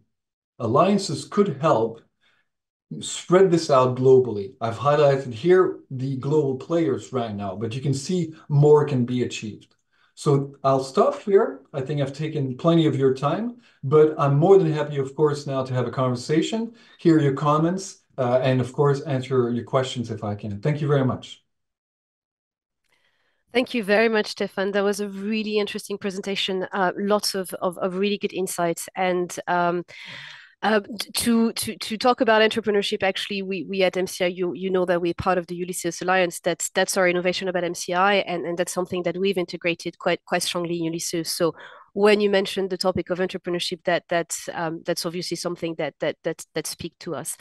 Thank you very much. Um, I we we still have with us uh, Professor Franz Fischler, um, and we have a little bit of, of time. So um, Franz Fischler, would you like to to maybe address some questions or some comments to what has been presented by by Stephane?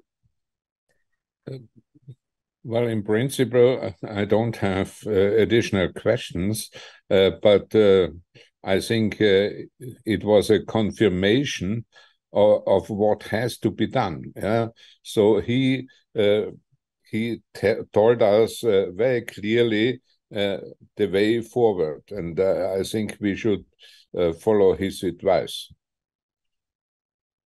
I strongly agree. Thank you very much. Um, Siegfried, would you like to to do, do you have questions or would you like to to comment on, on what was presented? I think you muted Siegfried. We cannot hear you.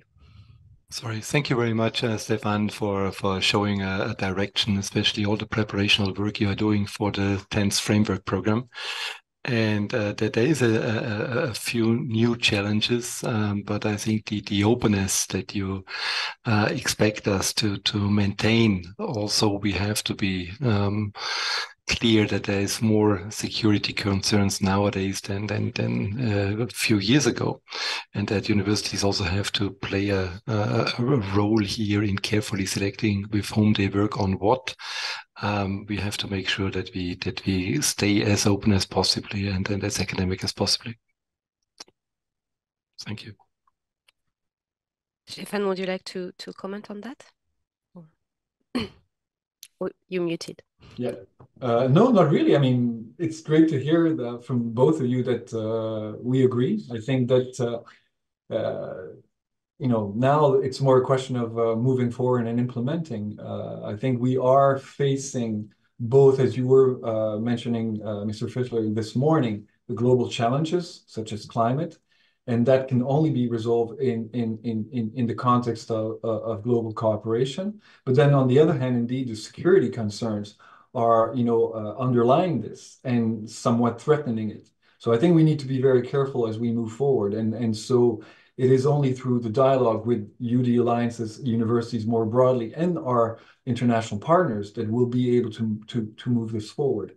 And so let's let's get down to work and uh, uh, we're we're working on those topics. More have more than happy to continue collaborating, of course, moving forward. Thank you so much. Uh, before I address uh, some of the questions that are in the chat, uh, I have a few uh, questions maybe to, to elaborate a little bit more. You mentioned foreign interference and, and you, you talked about security. Would you have any uh, best practices in mind or initiative that either have been developed uh, by the European University Association or at EU level or any other examples you, you would have in mind to, to address that issue and how institutions or alliances themselves um, are, are able to deal with that particular topic? So right now, the topic is so important that, of course, there's initiatives a little bit everywhere. What we've seen is that different countries in the world have been addressing this. In Europe, you clearly have some that are, I wouldn't say leading, uh, because it's not about leading, it's about being prepared. Uh, and it's finding this fine line be, be, between uh, being naive on one side and on the uh, other side being too scared, actually. Uh, so, for example, the Netherlands has worked uh, with its government, and we're talking about universities, in Netherlands, and the universities working with, with, with its government. And now they have within uh, their ministries a one-stop shop uh, where an academic can go to and say, look, I'm going to be collaborating potentially with this university and this person on this topic. Can you help me? They dispatch everything. they send the information to the relevant ministries that, that can then help this academic. That's one example. Another example is uh, Universities UK that has worked also with their government to identify guidelines to, to support then the, uh, you know, the, with concrete document. Another country that has worked on this is Belgium, Flanders, where uh, they have uh, now developed guidelines specifically for their researcher on the uh, uh on the field uh, on the bench uh, with a table uh, or uh, if you want a tree to follow in terms of decision making. So those are concrete example. And then beyond that, you've got, of course, the commission now that has started tackling that. They issued last year um, guidelines on, on foreign interference, leaving a lot of room and leeway for universities to handle those. Uh, but I think that they're looking into moving forward in the context of the uh, uh, of ERA, European Research Area, there is currently one action, two actions actually, uh, tackling foreign interference on one side and another one global approach.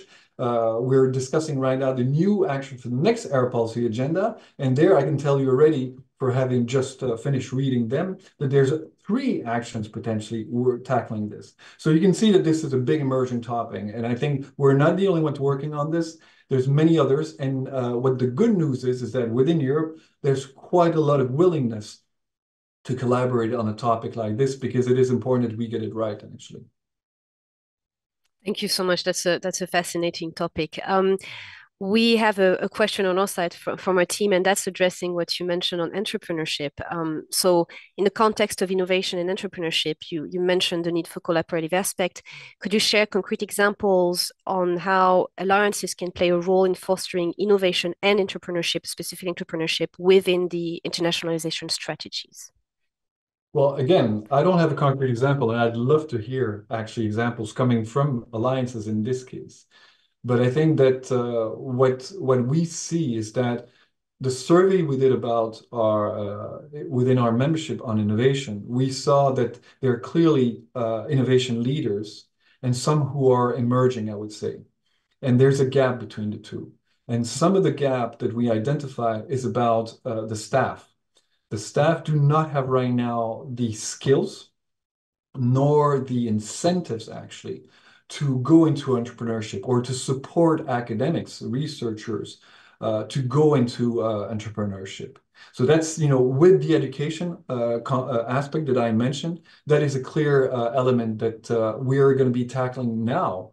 with our expert group on innovation, we're, we're starting to tackle the skills and the competences, competences actually that are specific for innovation. So that's something you, you, you can expect actually. But I would imagine that, you know, alliances very often being quite ahead, uh, I'd be really keen to hear today or later of concrete example where where this has uh, started to take uh, to take place.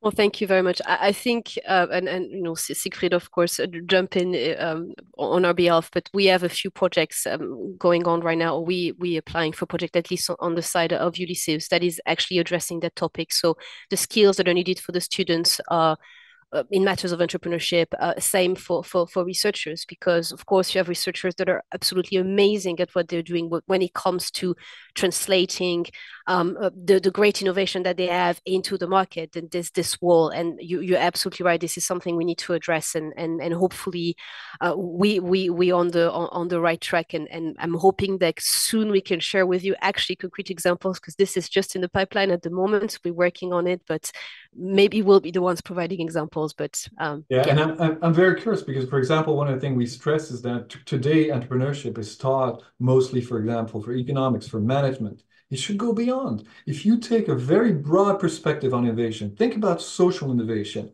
this becomes something that you know even if you study uh, social sciences and humanities, it becomes something that is that is important. And when you think of the innovation we need today to tackle climate change, for example, it cannot be just technological. It will only get us so far. We need to think about all those uh, social innovation that are needed, how to engage with citizens so that you know more of those changes can be implemented, but also ideas will, will emerge. So sorry, very happy to hear anything coming from your side soon. Thank you so much. I, I, have to say I, I, I agree hundred percent. And and the, the social innovation side, that's something that we really need to spend time on. And I would tend to agree. This is amazing that we have technological innovation, but that that's probably it's not what's going to save us probably then that's going to help but that's not sufficient. And this i think this is a topic that is incredibly important and, and one that we should really really focus on. Um, questions from the chat. We so you brought up the reform of research assessment and its global implications. Uh, how how Alliance can contribute to this reform and what role could they play in a broader discussion on on career and research? If that's okay, maybe you could address very quickly what was uh, the the research assessment reform about for, for those who are not necessarily familiar with that.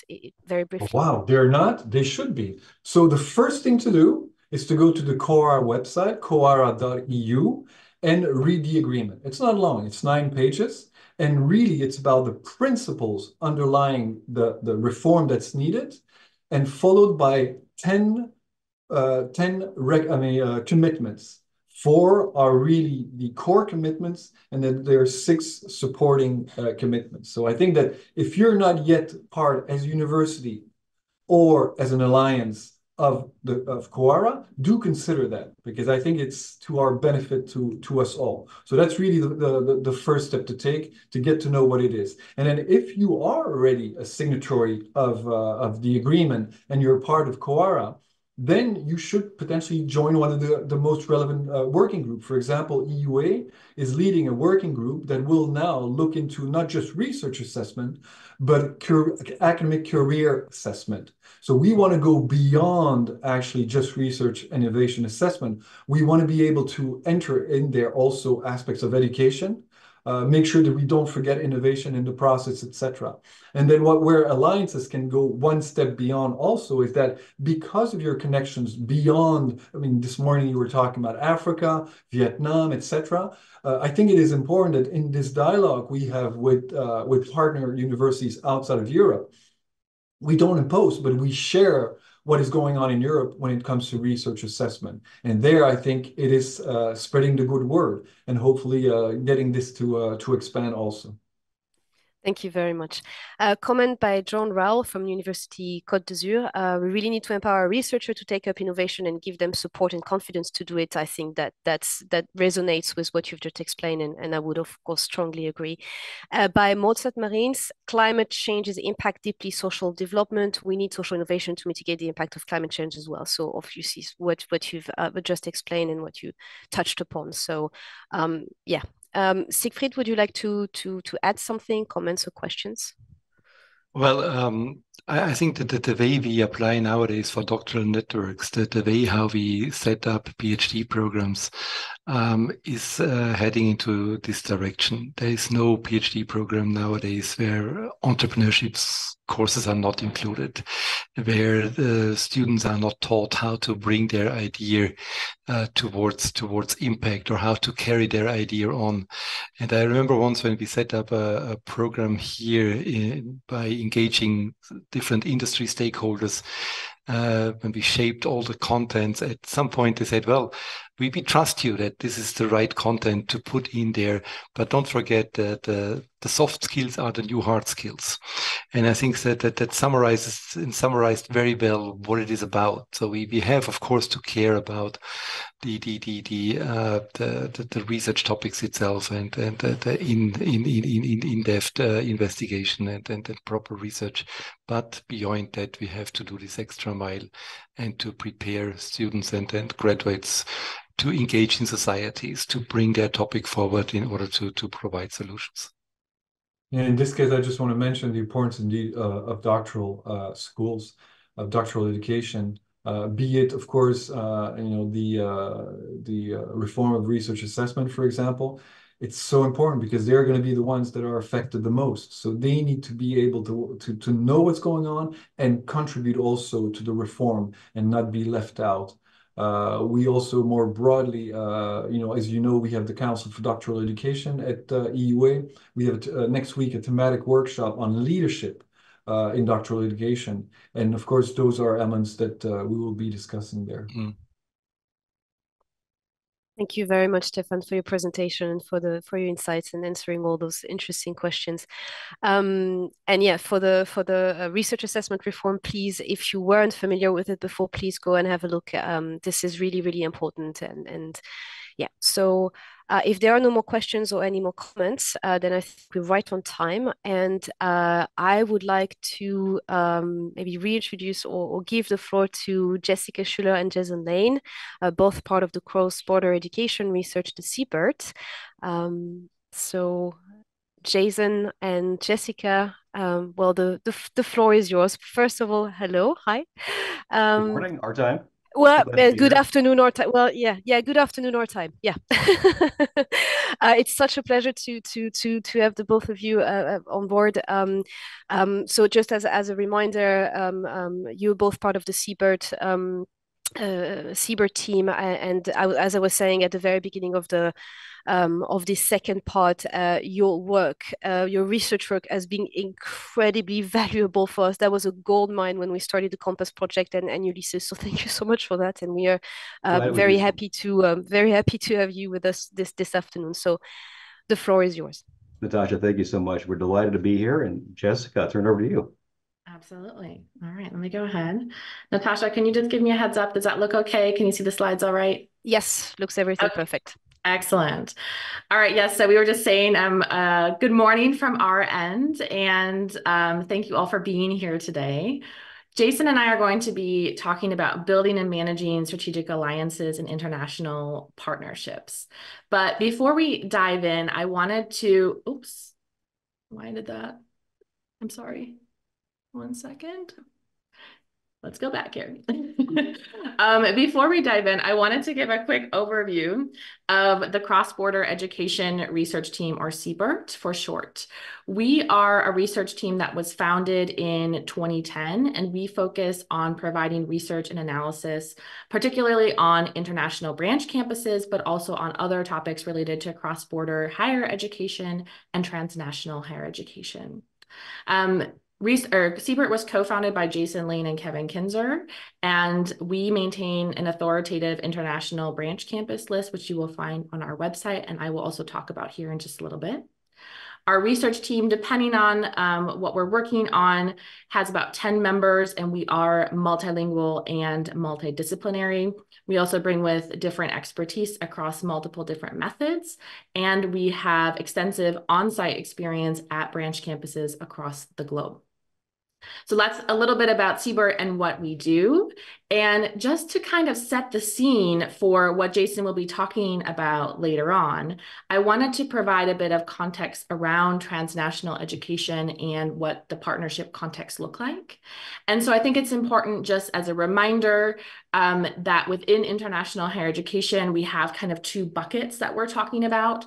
International student and scholar mobility is bucket one, if you will, and then international program and provider mobility is bucket two. And so a lot of times the focus is on student and scholar mobility, but in this case of TNE, we're really talking about, and I will show a definition here, the movement of programs um, and institutions from foreign countries to where students are actually located physically. And so this can be best described as when learners are located in a country other than the one in which the awarding institution is based. So mm-hmm. basically we're talking about when institutions are mobile and not the students. There's different types of transnational education institutions. We've identified four main types. These are, of course, the international branch campus. So when a university decides to start up a branch in another country, and I will um, talk about that a little bit more here in a moment. Then there are international joint universities where the partnerships um, have at least two or more partners, and it's not necessarily a branch of an institution, but it could be, for example, in the case of one type of international joint university is the binational one. Um, many of you may be familiar with German binational universities. That's when we're seeing also state actors get involved to found um, institutions such as the German Jordanian University or the Turkish German University. We also know from the Chinese context um, that there are joint venture universities. These are also underneath the international joint university category. And then, of course, importantly for the EU context, we have networked universities. So this is where the EU alliances would fit under. And the final category are regional universities, such as the Pan-African University or the South Asian University. And so I think it's important just to um, be aware that when we talk about branch campuses, we're talking about one form of transnational education institution. It is, of course, the most common type, though. And we define a branch campus as an entity that is owned, at least in part, by a foreign higher education provider operated in the name of that provider. And this is important, provides an entire academic program um, substantially on site, leading to a degree awarded by the foreign education provider. And so what sets our definition apart from others is that we really do focus on an international branch campus being able to provide an entire degree program so that the student could simply study at that institution without having to ever um, have contact necessarily with the home campus. We, of course, collect data on these international branch campuses. And this is our most um, recently published data. I will add, though, that we are currently updating um, the list. However, the while that you may see a little bit of fluctuation in the next iteration of the list, there is a large amount of stability, especially when we think about exporters and importers. So there are over 300 international branch campuses worldwide. We have about 40 countries that are um, the home countries or the sending countries, and about 80 who are the home uh, host countries who are receiving. Um, and there's about 60 closed campuses that we have tracked. The largest exporters and importers, like I said, they have stayed re relatively stable over the years. Um, so we're seeing here largest exporters are US, UK, France, Russia, and Australia. And the largest importers also will where you will see some education hubs, China, UAE, Singapore, Malaysia, and Qatar. The one thing I'll just add to this too, Jessica, is India is a up and coming player in this space uh, with the the national education policy that was approved in 2020. Uh, they um, began to allow branch campuses. They had been flirting with this concept for 10 years. They finally had to let it happen. Deakin University now in Australia set up a branch campus in India. Others are now moving into that space very quickly. And, but also, they've now allowed the IITs to set up branch campuses um, overseas. Some of the private institutions have been doing that in places like uh, Dubai and Australia. Uh, we've now seen the IITs, I think, just set up a campus in Eastern Africa, uh, for example. So I just the, the one part of fluctuation I think is important to know is India is becoming a much uh, more aggressive player in the TNE space. Absolutely. Thank you for adding that. Um, on that note, just one other thing here. Uh, I think it's important to note that when we talk about branch campuses, um, that we don't confuse them with other types of foreign outposts. So um, you're seeing here up on the screen, there's other types of ways in which international partnerships um, can be developed with offsite um, locations in other countries. You might be familiar with study abroad campuses um, that operate in Europe for American students strictly for the purpose of study abroad. Um, there's independent sites, uh, outreach locations, validation campuses, and then what we also see within the European context specifically are um, offsite research campuses in other countries. And so Justin, Jason kind of talked about this too, you know, tracking TNE globally is a bit of a challenge. There's no central data registry to look up everything that's happening within TNE. Another complication is that um, many of the estimates include both offline or on-site TNE online TNE. Um, and so we can't always separate who's at the institutions and who's online. Um, but we do know that as of 2016, we had about 180,000 students who were studying at international branch campuses. And like Jason mentioned, as more and more players enter into the branch campus scene, we are going to see those numbers increase. We will also see um, a bit of movement in the next couple of years as the UK and Australia and other countries such as India really kind of parse out and um, enact their TNE strategies, whether those are written or not, and um, develop campuses and program and provider mobility across the globe. And so, you know, tracking IBC growth is something that we are definitely very concerned with. It's not the easiest thing, but we do um, maintain a list of those branch campuses on our website in order to provide um, also, as Natasha mentioned at the beginning, a good um, research-backed database for people to use. So I will, um, with that context, hand on over to Jason to talk about building and managing partnerships. Thanks, Jessica, and uh, really delighted to be with you. Uh, before I get going on this, just a couple of, comments.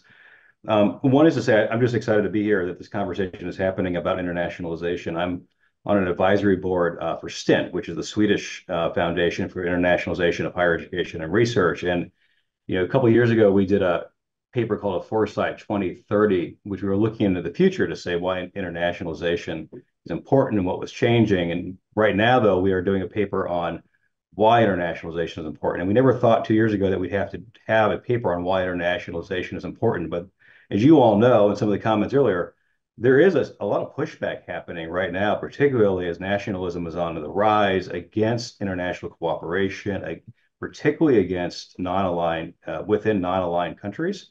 Uh, whereas we have known historically that across the last 50 years, a lot of great things happened in science diplomacy and education diplomacy, where countries that may have had uh, diplomatic relations that were not all that great, um, our scientists found a way to work together.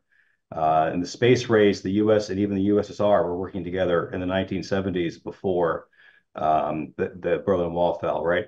So, um, you know, I just to say it's so important this work more than ever that we're having a conversation like this and that we're we're lifting up the opportunities to do internationalization work because as our world fractures, science, science diplomacy, and innovation and cross-border engagements are going to be critical, I think, to hold us all together.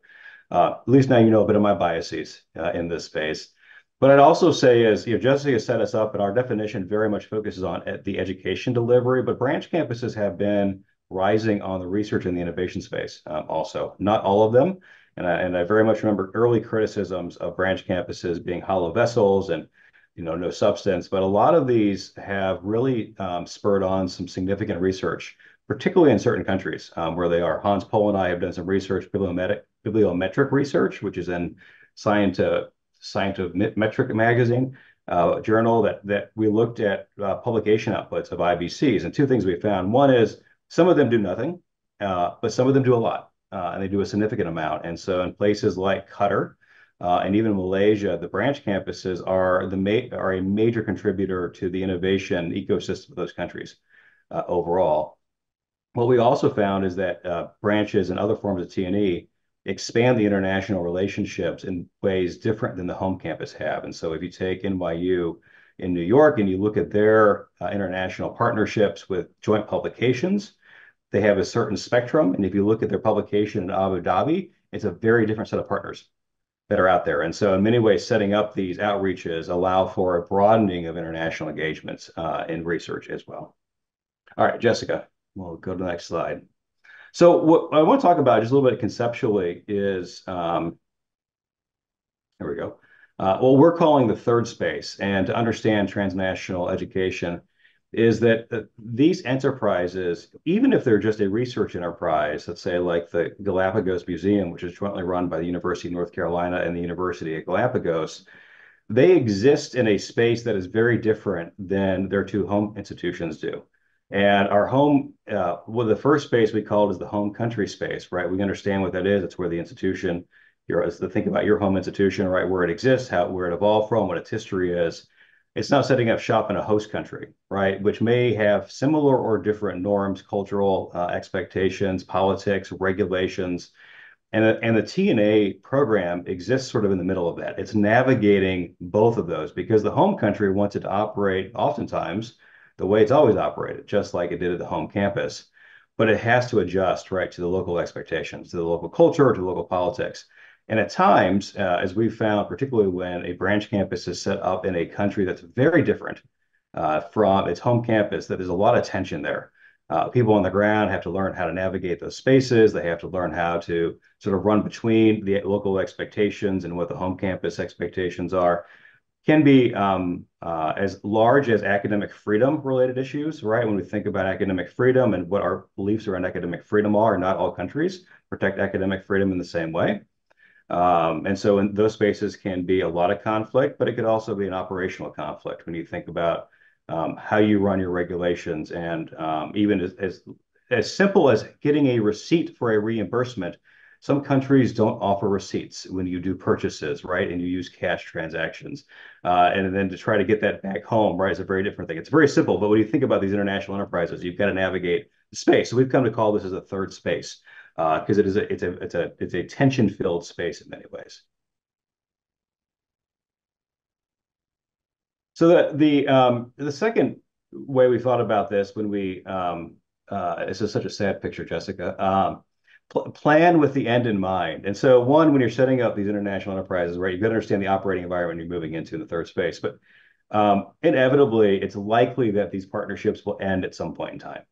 And one of the things that we found early on with with branch campuses is that many of the people who created them rushed to create one because they thought it was great to have. They wanted to do it. They wanted to be in a certain country, but they didn't plan for the end, right? And and anyone who has set up a business or sets up uh, any sort of corporate enterprise, your lawyers will advise you, right, to write the contract so that you know what happens at the end of this if that happens. And in, in, education, we often don't like to think about the end of something. We like to create it, we like to sustain it, and we don't think about what that ending could be. And um, it's really important to be able to set expectations up front with the partners, right? What happens when this thing goes south or when certain people leave or maybe the finances aren't there anymore? Some projects have a life of their own, right? We have a five-year grant. Uh, we have this project. It's well defined, right? We know that we're going to do X, Y, and Z to create a create a report at the end of this and do, do our presentations, right, and move on. Others, a branch campus, a research enterprise, a research office overseas, even some international partnerships um, are don't have a clear ending, right, or clear set of final deliverables. And so at some point in time, things may go south. And and as you saw on that earlier slide, you know, there have been dozens of branch campuses that ended. There have been many more research partnerships that have ended abruptly because something has shifted. A government policy has changed. And so it's really important to be thinking up front when that end comes, what will it look like? How, what will the separation agreement look like? If our students are involved, how will you teach out those students? to make sure they're not left high and dry. If you have employees or researchers who are in a particular country overseas, right, and they're maybe they're employed locally, how do we deal with them? Uh, so that there is some humanity in this process of ensuring people are protected uh, when this, this operation does go south. And then how do you protect your institution also uh, when that happens and the partnership uh, dissolves? Um, third is establishing um, expectations up front. What what exactly is it that you're hoping to get out of this relationship and with your partner? Um, and maybe we should have put this first and then say talk about the ending. But you know, being very clear about what this is, because a lot of times I think it is interesting. We might have a colleague in a foreign country and we create a new enterprise, we get some money, um, we want to work together. But what exactly is it? Who's responsible for what? You know, particularly when you think about organizations, right? Who's establishing the expectations up front? Where, what work are we going to be doing together? Um, where is the funding coming from? And even, you know, it's interesting in terms of what your values and operational um, modes of operation are going to be. We just did a, a case study of branches looking at um, the ways in which diversity, equity, and inclusion are included or not included on uh, branch campuses. And we took this topic because in the U.S. historically, this has been something that has been very important. Right now, there's a lot of, of political contest around um, DE&I efforts within the U.S., and that's a whole other issue to get into. But a lot of times, uh, prior to the last couple of years, you would have found most U U.S. campuses having a very public statement about their commitment to diversity, equity, and inclusion, and how that's manifested on their campus. And we thought, well, does that get manifested overseas? Is that a value, an expectation of foreign campuses to have the same DE&I statement, right, when they are partnering in these overseas environments? Uh, and it's not, right? We found um, some that had a similar statement to their home campus. Uh, I'll take LGBTQ rights, for example. Um, you know, we had one campus that had a very clear statement about LGBTQ uh, rights for the for students and for faculty, and they had a campus in a country in Eastern Europe that that shared that belief, and so they also had a statement that backed that uh, LGBTQ rights. But then they have a campus in the Middle East where we know that in some of those countries, right, that there's a, not agreement on LGBTQ rights, and you could not find it anywhere on, on their campus statement.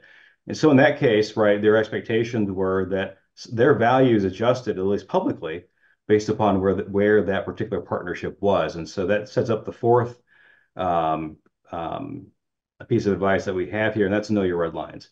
Um, as I mentioned earlier, the world is increasingly fractured uh, in many ways, and things can go awry when you're not clear on uh, what the politics are um, in the foreign country or the politics shift. And so a lot of times what happens is somebody will, or an enterprise, an institution, or an individual will develop a partnership overseas uh, in a country where, okay, they think they have some agreement on uh, how far, you know, what they're willing to do in terms of academic freedom or research freedom or the type of research topics that they want to be invested in. Once you establish that physical presence there or that, that operational presence, um, things can shift on the ground. New policies come about, new leaders come into play, Um, we've seen it a lot recently in the headlines about shifting geopolitical um, uh, perspectives and the, I mentioned earlier the rise of nationalism. Uh, we've also seen it before the recent uh, um, uptick in nationalism that a lot of countries began to restrict academic freedom uh, in, in, in certain countries after branch campuses had set up shop. And so a lot of times we've seen in TNE that um, TNE activities where those policies have changed have often tried to adapt to that local change, right? And try to try to sort of navigate that space, maybe being being open to restricting of academic freedom a little bit more than they would have originally. Um, you know, but had they originally known that was how far they were going to have to restrict academic freedom, they probably wouldn't have done it in the first place. Uh, once you build a campus and once you have employees, it's really hard to pull out of those sort of enterprises. And so it's really important up front to be able to set what we call the red line, right? What are the things that you absolutely will not go beyond? That you will end this partnership over, that if a country restricts something so far, or if the expectations shift in certain ways, that you're willing to pull out, that you're willing to end the partnership or the, the international research engagement uh, and come back to the center on that. So Jessica, I think that's about it. So um, these are just the sort of summary. Again, operating environment, understand the third place, plan with the end in mind, establish your expectations, and know your red lines. And Natasha, I think we might be right at 20 minutes, and so I will turn Perfect. it back to you. Thank you so much. Thank you so much for the great presentation. Thank you, Jessica. Thank you, uh, Jason. Um, this this is uh, incredibly interesting, and, and, as I said, some some of the work you've done, we, we have had a look at it before, um, but it's it's always such a pleasure to to to go through it again. And some of the issues you've addressed that that reminds me some of the documents we we went through at the very beginning. Um, um, for um, is there any questions from uh, our audience? So um, I don't see anything right now, but maybe uh, Siegfried or, or Stephane, you would like to address some questions or comments to, to Jessica and Jason? I don't know if Siegfried is here. Okay, well, I can't have them right now. I well, can't see them. I'm still here. Oh, I don't have okay. any specific question, but I, I, it was really super interesting. So thanks a lot. I've learned a lot. Thank you so much, Siegfried. You muted. Thank you for the for the very interesting, intriguing presentation. And as uh, Natasha said, it's, it's a gold mine. Your material for for organizations, or alliances like ours, aiming for for a branch. I'm also very grateful that you addressed the, the, the issue of the potential risks um, on the, the reputation of the organization, but also on, on individuals, be it students or, or faculty, in case something goes wrong or the, the, the, collaboration doesn't take and last as long as, as initially expected. Um, so um, we are in this process of, of setting up uh, branches. Um, do you think that there is some country specific uh, recommendations or continents which are different to, to, to others um, from from a US perspective, but also from a from a European perspective? Yeah, I, there's just a question I think I would ask um, about alignment between your mission, right, and vision for these branches and what countries would make the most sense to be in. Um, Africa, we know, is a rapidly growing country, right? It's going to be the home to the largest amount of young people, right, in a couple of decades, um, a lot of innovation space. But we've also not seen a lot of branch campus activity yet. The infrastructure isn't there in the same sort of way. The expectations for foreign education um, in Africa, right, are not quite the same. And so there's there's balancing out of what we see as the future versus where the stability might be for setting up branch campus um, in the moment. Uh, looking, you know, looking for a location where that aligns with the students you want to serve, with um, um, the type of research that you may want to do, you know, in these spaces. Looking for, to the extent possible, a stable environment we can't always predict stability, but some are a bit more stable than others in these uh, these sorts of situations. Um, and then also, you know, a lot of times we've seen countries more specifically, but to look at places where business and industry have already set up and have established themselves. And a lot of times we see education and business industry, right, collaborating around each other, particularly when we think about entrepreneurship and innovation. Uh, and so thinking about ways that um, working together, or at least in a similar country or space, sometimes can can provide additional opportunities. Happy to talk more about all of that. Um, there's so many more questions there, Siegfried, we could we could dig into. Yeah, thank you. Thank you so much. Yeah, we, we realized, and, and one of the questions this morning also demonstrated that the, the expectations, especially in those areas where we would like to engage, like like Africa, like like Latin America, um, sometimes you you you are in in in contact with very well established institutions that reduces the risks. On mm -hmm. the other hand, you also want to go into regions with with less developed institutions, and and uh, what is your experience is uh, in in developing the capacities for for accreditation for for setting standards in order to to build a branch to set up a branch um, is this something that you do collaboratively or in, in such a case do you just impose your solution on a country uh, which is not very co-creative and probably not very sustainable if you do it that right. way yeah, it depends on the environment. Some countries have welcomed the, I don't want to call the imposing, but the different than us sort of environment, right? Dubai certainly is an example of that with Dubai International Academic City, you know, where they very much wanted foreign countries to set up their education system. They were not trying to replicate, right, what they had in the public mm-hmm. sector. They wanted something that was different than that environment. China is a very different example. China has said, for most part, a couple of exceptions,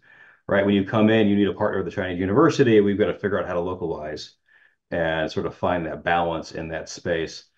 I um, what I would say is almost a answering a different question to though, Siegfried, is understanding um, control, governance, and authority and decision-making, and who gets to make that, uh, and where does lie. Because where we've seen most partnerships and or most branch campuses get in trouble is when the branch doesn't have um, when there's a significant amount of control by the local partner or the local government um, and that they can overturn the decision of the branch campus. And then the branch campus may end up being something that is different than what the home campus had wanted originally. Um, the decisions that are made may, may lead to a non-viable institution down the road. A lot of times, these the partners are either government partners, so they have a certain ideological expectation uh, involvement, and so understanding what the firewall is there is important. And the other is all that in some cases they have been financial partners. Uh, they've they've set up the money or they pay for the branch. They they set up for the actual campus, right? And for them, they're looking for a return on investment, and that the the quickness in which they want that return on the investment may not always jive with the academic freedom and the quality and assurance issues that you're thinking about, right? You want to do this in the right way at the right amount of time. It may take a little bit longer for something to become economically viable. That partner doesn't like it, right? So they then make other decisions or it, goes south very quickly. So I think understanding how these things are governed and who has a say over decision making, particularly over the quality assurance piece, is is really important. Um, I've always said it's important to have a some sort of local partner involved, just so that it helps ease uh, the understanding of how to operate locally in that environment. But it's also understanding that um, a foreign education may purposely be set up to provide something that's different than what's already available um, in that country, for better or for worse. But we think you know that being different is something that is often what's looked for. Thank you. Thank you very much. Uh, a quick uh, a question from, from the audience by Mozart Marines. Uh, please, uh, one of you spoke about the ongoing feelings against international education. Just now in Germany, the manifestations against ideas of, for example, re re-immigration. Could you comment more on that, please? Jessica, you want to say anything? You want me to take that? I mean, I think it's just important to contextualize that a little bit. And I think what might be interesting is also to talk about the work that you're doing there with Stint around that. And so um, doubling down on international education in times where we are seeing a lot of pushback um, might mean that we go about partnerships in a different way or that we look at different regions or areas in order to build out that capacity, but also to um, look for really the internationalization for society component and how are we bringing together internationalization projects for the betterment of our societies. Jason, did yeah, you want to add on to that? That's right. Yeah. I, I think the a lot of the pushback we've seen is around national security related issues, right, and fear, um, particularly as we've seen increases in immigration here in the U.S. also, uh, similar sorts of issues. And uh, the tendency, I think, has been in the current environment to put up walls to sort of distance ourselves. Um, and I think we've got to find the, balance there, right? We've got to obviously there um, think through what the opportunities are for facilitating some of that mobility, for thinking through how do we help raise intercultural awareness and intercultural understanding through international education. Um, and perhaps we do things a little differently than we've done in the past, but I don't think it means shutting the doors entirely, right? That's the worst thing that we can do, or to end all international partnerships. There's been a lot, obviously a lot of pushback against uh, partnering with certain countries around the Ukrainian war, um, right? And I think those are very good questions that have to be asked in the space, right? And what was interesting, one of the very first things that happened when the Ukraine war Ukraine war occurred is that we saw sort of this this almost immediate pushback against partnering with Russian scientists and Russian universities, and we can get you know there's a whole sets of com complexity around that right now because education has become more of the state in certain places, perhaps than it has um, previously. So that has changed the dynamic as well. Um, but I also think there's still opportunity for us to to to continue to have strong partnerships, relationships, or at least mutual understanding with each other through science and through education. And the role of education is to help us to build a broader understanding um, of each other and hopefully eventually a welcoming environment. But I think we just have to acknowledge a lot of these political issues that are happening uh, that we see in the headlines are very much influencing international education right now. Thank you very and. I think that, you know, I just, I would say the pandemic probably was sort of the quintessential example of internationalization at work. Countries, scientists from all over the world came together to study COVID, to come up with um, ways to uh, developing vaccines and other scientific responses, and even you know think about social entrepreneurship that Stephane talked about, right? A lot of the ways in which we think through how do we engage socially, right, on around the pandemic. A lot of diffusion of knowledge around a lot of international sharing that all came from decades of work together, right? To be able to do that built on a, a, history of international sharing among universities and scientists and so forth. Uh, and it's interesting now to see the sort of pushback against that a bit. But I just, I know many of us want to put the pandemic out of our heads, right? It was a certain time in our, our life. It's still with us, but not in the same way. But I just want to say, I mean, it was, it really was, right? Our ability to address it globally as a world is a great example of the power of internationalization and international research. Thank you very much. Um, comment again by Mozart Marines. Um, we also, but also to try bring young people as much as possible. So, um, um, um resonating with what you were saying, um, inside these programs that they can get open for multicultural environment, and uh, in this way, in the future, they can have a more positive impact on international education. So, I'm guessing that that goes in line with what you were uh, what you were uh, uh just uh, saying. There's a, there's a phrase of uh, internationalization at home right? That's used in in our context, and I think what Jessica and I are talking about here sort of is sort of the exporting of internationalization, right? Taking what we have in our home country and setting up a shop somewhere else. But that's not to negate the importance of internationalization at home and how we internationalize our own curriculum, right? In terms of what those opportunities are for students to study uh, to learn about uh, others, to learn about international interests, even virtual mo mobility is a way to engage them with people overseas or in other countries that may not be exactly like them, um, where they aren't able, perhaps they aren't able to study abroad, right, in a physical way, but they can, through the you know wonders of virtual uh, world, partner with students in other countries on group projects. And so there are ways to do this um, in a home campus environment, and, but it's critical, absolutely critical. Um, thank you so much. Um, I think one question from our side, uh, would you be able to share some concrete examples of a long-term par partnership of this third space? I, I, love this expression, by the way. I mm. think that really encompasses exactly what this is about. Uh, would you have uh, very concrete examples of, of something, you know, either a campus or, any form of collaboration that has lasted for a very long time, that's very strong and, and, and keeps going at the moment? Yeah, there are um, a few out there. You know, one that's often overlooked is Webster University. It's based in St. Louis, Missouri. They have six campuses around the world now. They started in, I believe, Geneva in the 1970s. Um, you know, and then now they're in like, Thailand, and uh, I think they have one now in Africa. Um, their their work, right, because they have been doing this for 40 years now, essentially, um, 50, maybe almost 50 uh, you know, they the way they have set up shop, that what they have done is they have attempted to understand the local environment, but then also understand what is core to them as an institution. All right, and so no matter where they go, these are the expectations of their core that is everywhere. And then how do we adjust that to the local environment? So operating in Geneva is going to be different than operating in Thailand or Vietnam, right? And yet for them, they still have internal operations that allow everybody to be part of Webster University and hold, hold constant in that space. So um, Webster is one uh, that I, I, might look at uh, in that space. Um, Nottingham, uh, not, University of Nottingham has been pretty successful with its campuses in Malaysia and Ningbo also. Um, the way that they have grown, the way that they have um, Kuala Lumpur and um, Ningbo. Um, uh, held core to who they are as an institution, developing education first, expanding that, adding research onto it, but you know, um, and then a lot of flow. What is also interesting is places I think they do really well is they develop ways for students and faculty to flow between the institutions.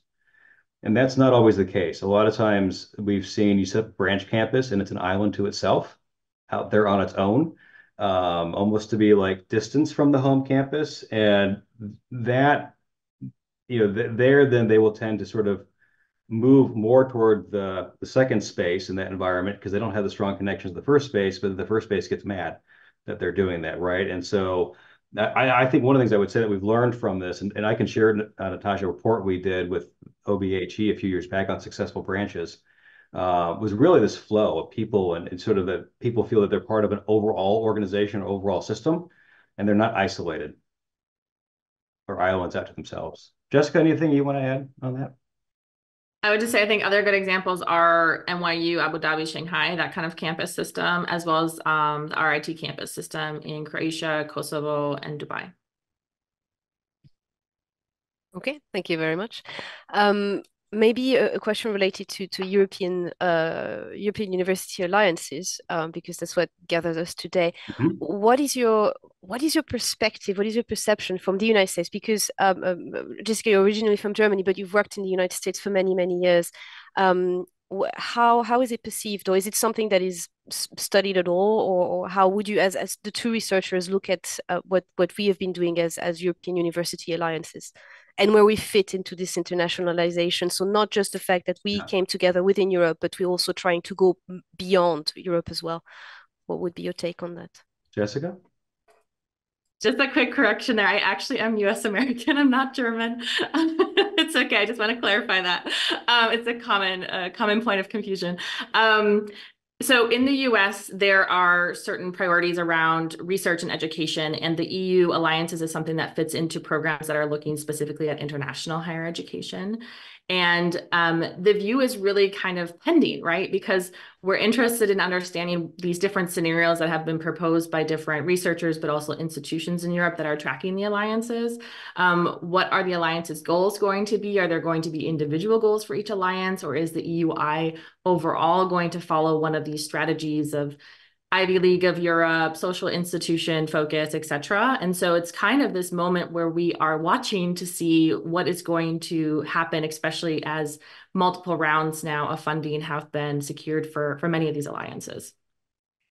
I, you know, I'd add, and you know, we all wear multiple hats, so I'm going to put a different hat on um, for a moment. I'm, I'm also the president of the National Association of Higher Systems in the United States, and you know, the focus there is on these multi-campus relationships and how do we facilitate collaboration among institutions? And um, so I think from a US perspective, um, the EAU sort of fits into this systems work. How do we think about the idea that we need to not just operate individual institution by individual institution? How do we think about network systems? The US context, we even have that within the domestic setting. A lot of times, a lot of our states are more, we have multiple campuses that are governed by a single governing board, but they don't always get along. And so we're trying to find ways to help them collaborate. But I think, you know, we're also thinking about these networked opportunities uh, as well. I'm, I'm also with the University of Illinois system. And, you know, we have partnerships with Brazil and with Mexico and with Toronto as we think about ways that we can align around agriculture or around sustainability, um, you know, and developing sort of meaningful international partnerships. So I think you all are ahead of the curve in this space. You're leading the way. Uh, we have we a lot we can learn from you all also, but I think that that these networked uh, environments are just going to be so much more important in higher education in the future. Thank you very much. So we good case case study. That's good to know. yes. Thank you very much. Uh, if there are no other questions from from the audience, then I think we, we I can conclude uh, this this second this second part of our conference uh, today. Oh, actually, um, we have uh, um, comments from Mozart Marines uh, in the direction of flows, as Stephane is pointing. One of the biggest problems here in Brazil is the curriculum. They have to be more fluid, able to count for to count for credits which the student took abroad. Is there anything yeah. you would like to comment on? Yeah, I'll just say this is one of the things that about understanding your context is understanding what the local environment is from a, a regulation and quality assurance um, perspective. Um, uh, Kevin Kinser and I had done a piece for UNESCO on this a little bit about um, how do you navigate the creation of a new university, right, in the in, in maintaining quality assurance and regulation. And so um, this is one where there can be a lot of disagreement when you're setting up in a foreign country, particularly if that foreign country says you will do it exactly the way we've always done it. You're going to follow our regulatory scheme, and that might be very different than at home. Uh, and so you've got to you've got to know going in how you're going to adjust to that those offerings and to understand how to accept the accept the curriculum or adjust your curriculum to meet the local regulatory needs. I don't know if that exactly answered the question, but that's often I been... would just also add on to that that UNESCO. IESALC in um, Latin America is doing a lot of work in that space right now and looking at how can we recognize across borders, not only in in the Latin American context but also globally. So they're definitely an actor to watch when it comes to that. Thank you very much. Um, thank you very much. If there's no more questions, then we will conclude there. I would like to uh, to thank uh, you, Jason, you, Jessica, Stephane, as well for your intervention for this this this afternoon. I would also like to thank the speaker of this morning, Frédérique Vidal, Franz Fischler, and uh, our rector, Andreas Altmann. This this were great, engaging conversation. We've learned a lot. So thank you so much for for for having presented uh, your work uh, today with us. Uh, thank you also to the participants, thank you so much for for, for attending this event. Uh, it was it was a, a, true pleasure to to to organize and, and and moderate. So thank you very much.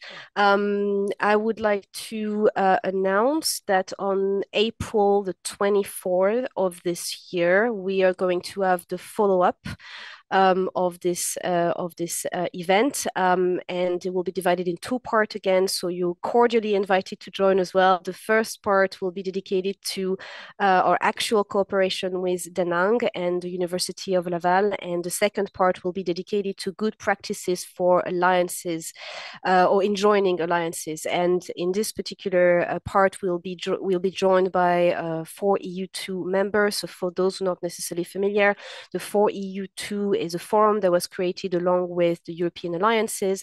The 4EU2 is for the second generation, which is our generation. And um, this um, essentially the idea is to provide a forum to tackle different topics such as geopolitics and internationalization.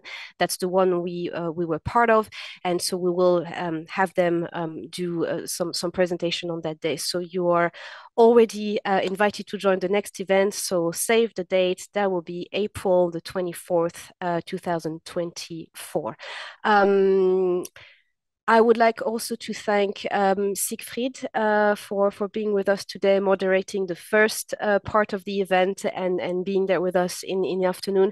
A big thank you goes to uh, people that you cannot see, I believe, from the platform where you are looking at the, the, the, event, but that's my two colleagues, John Gardiner and Katharina Wolf, who have done an incredible work in preparing this conference. So to you both, thank you so much for all the work you've done. Thank you to the participants. Thank you to our speakers. Um, and that's it for me. I wish you a very good um, afternoon and a very good day for our American friends.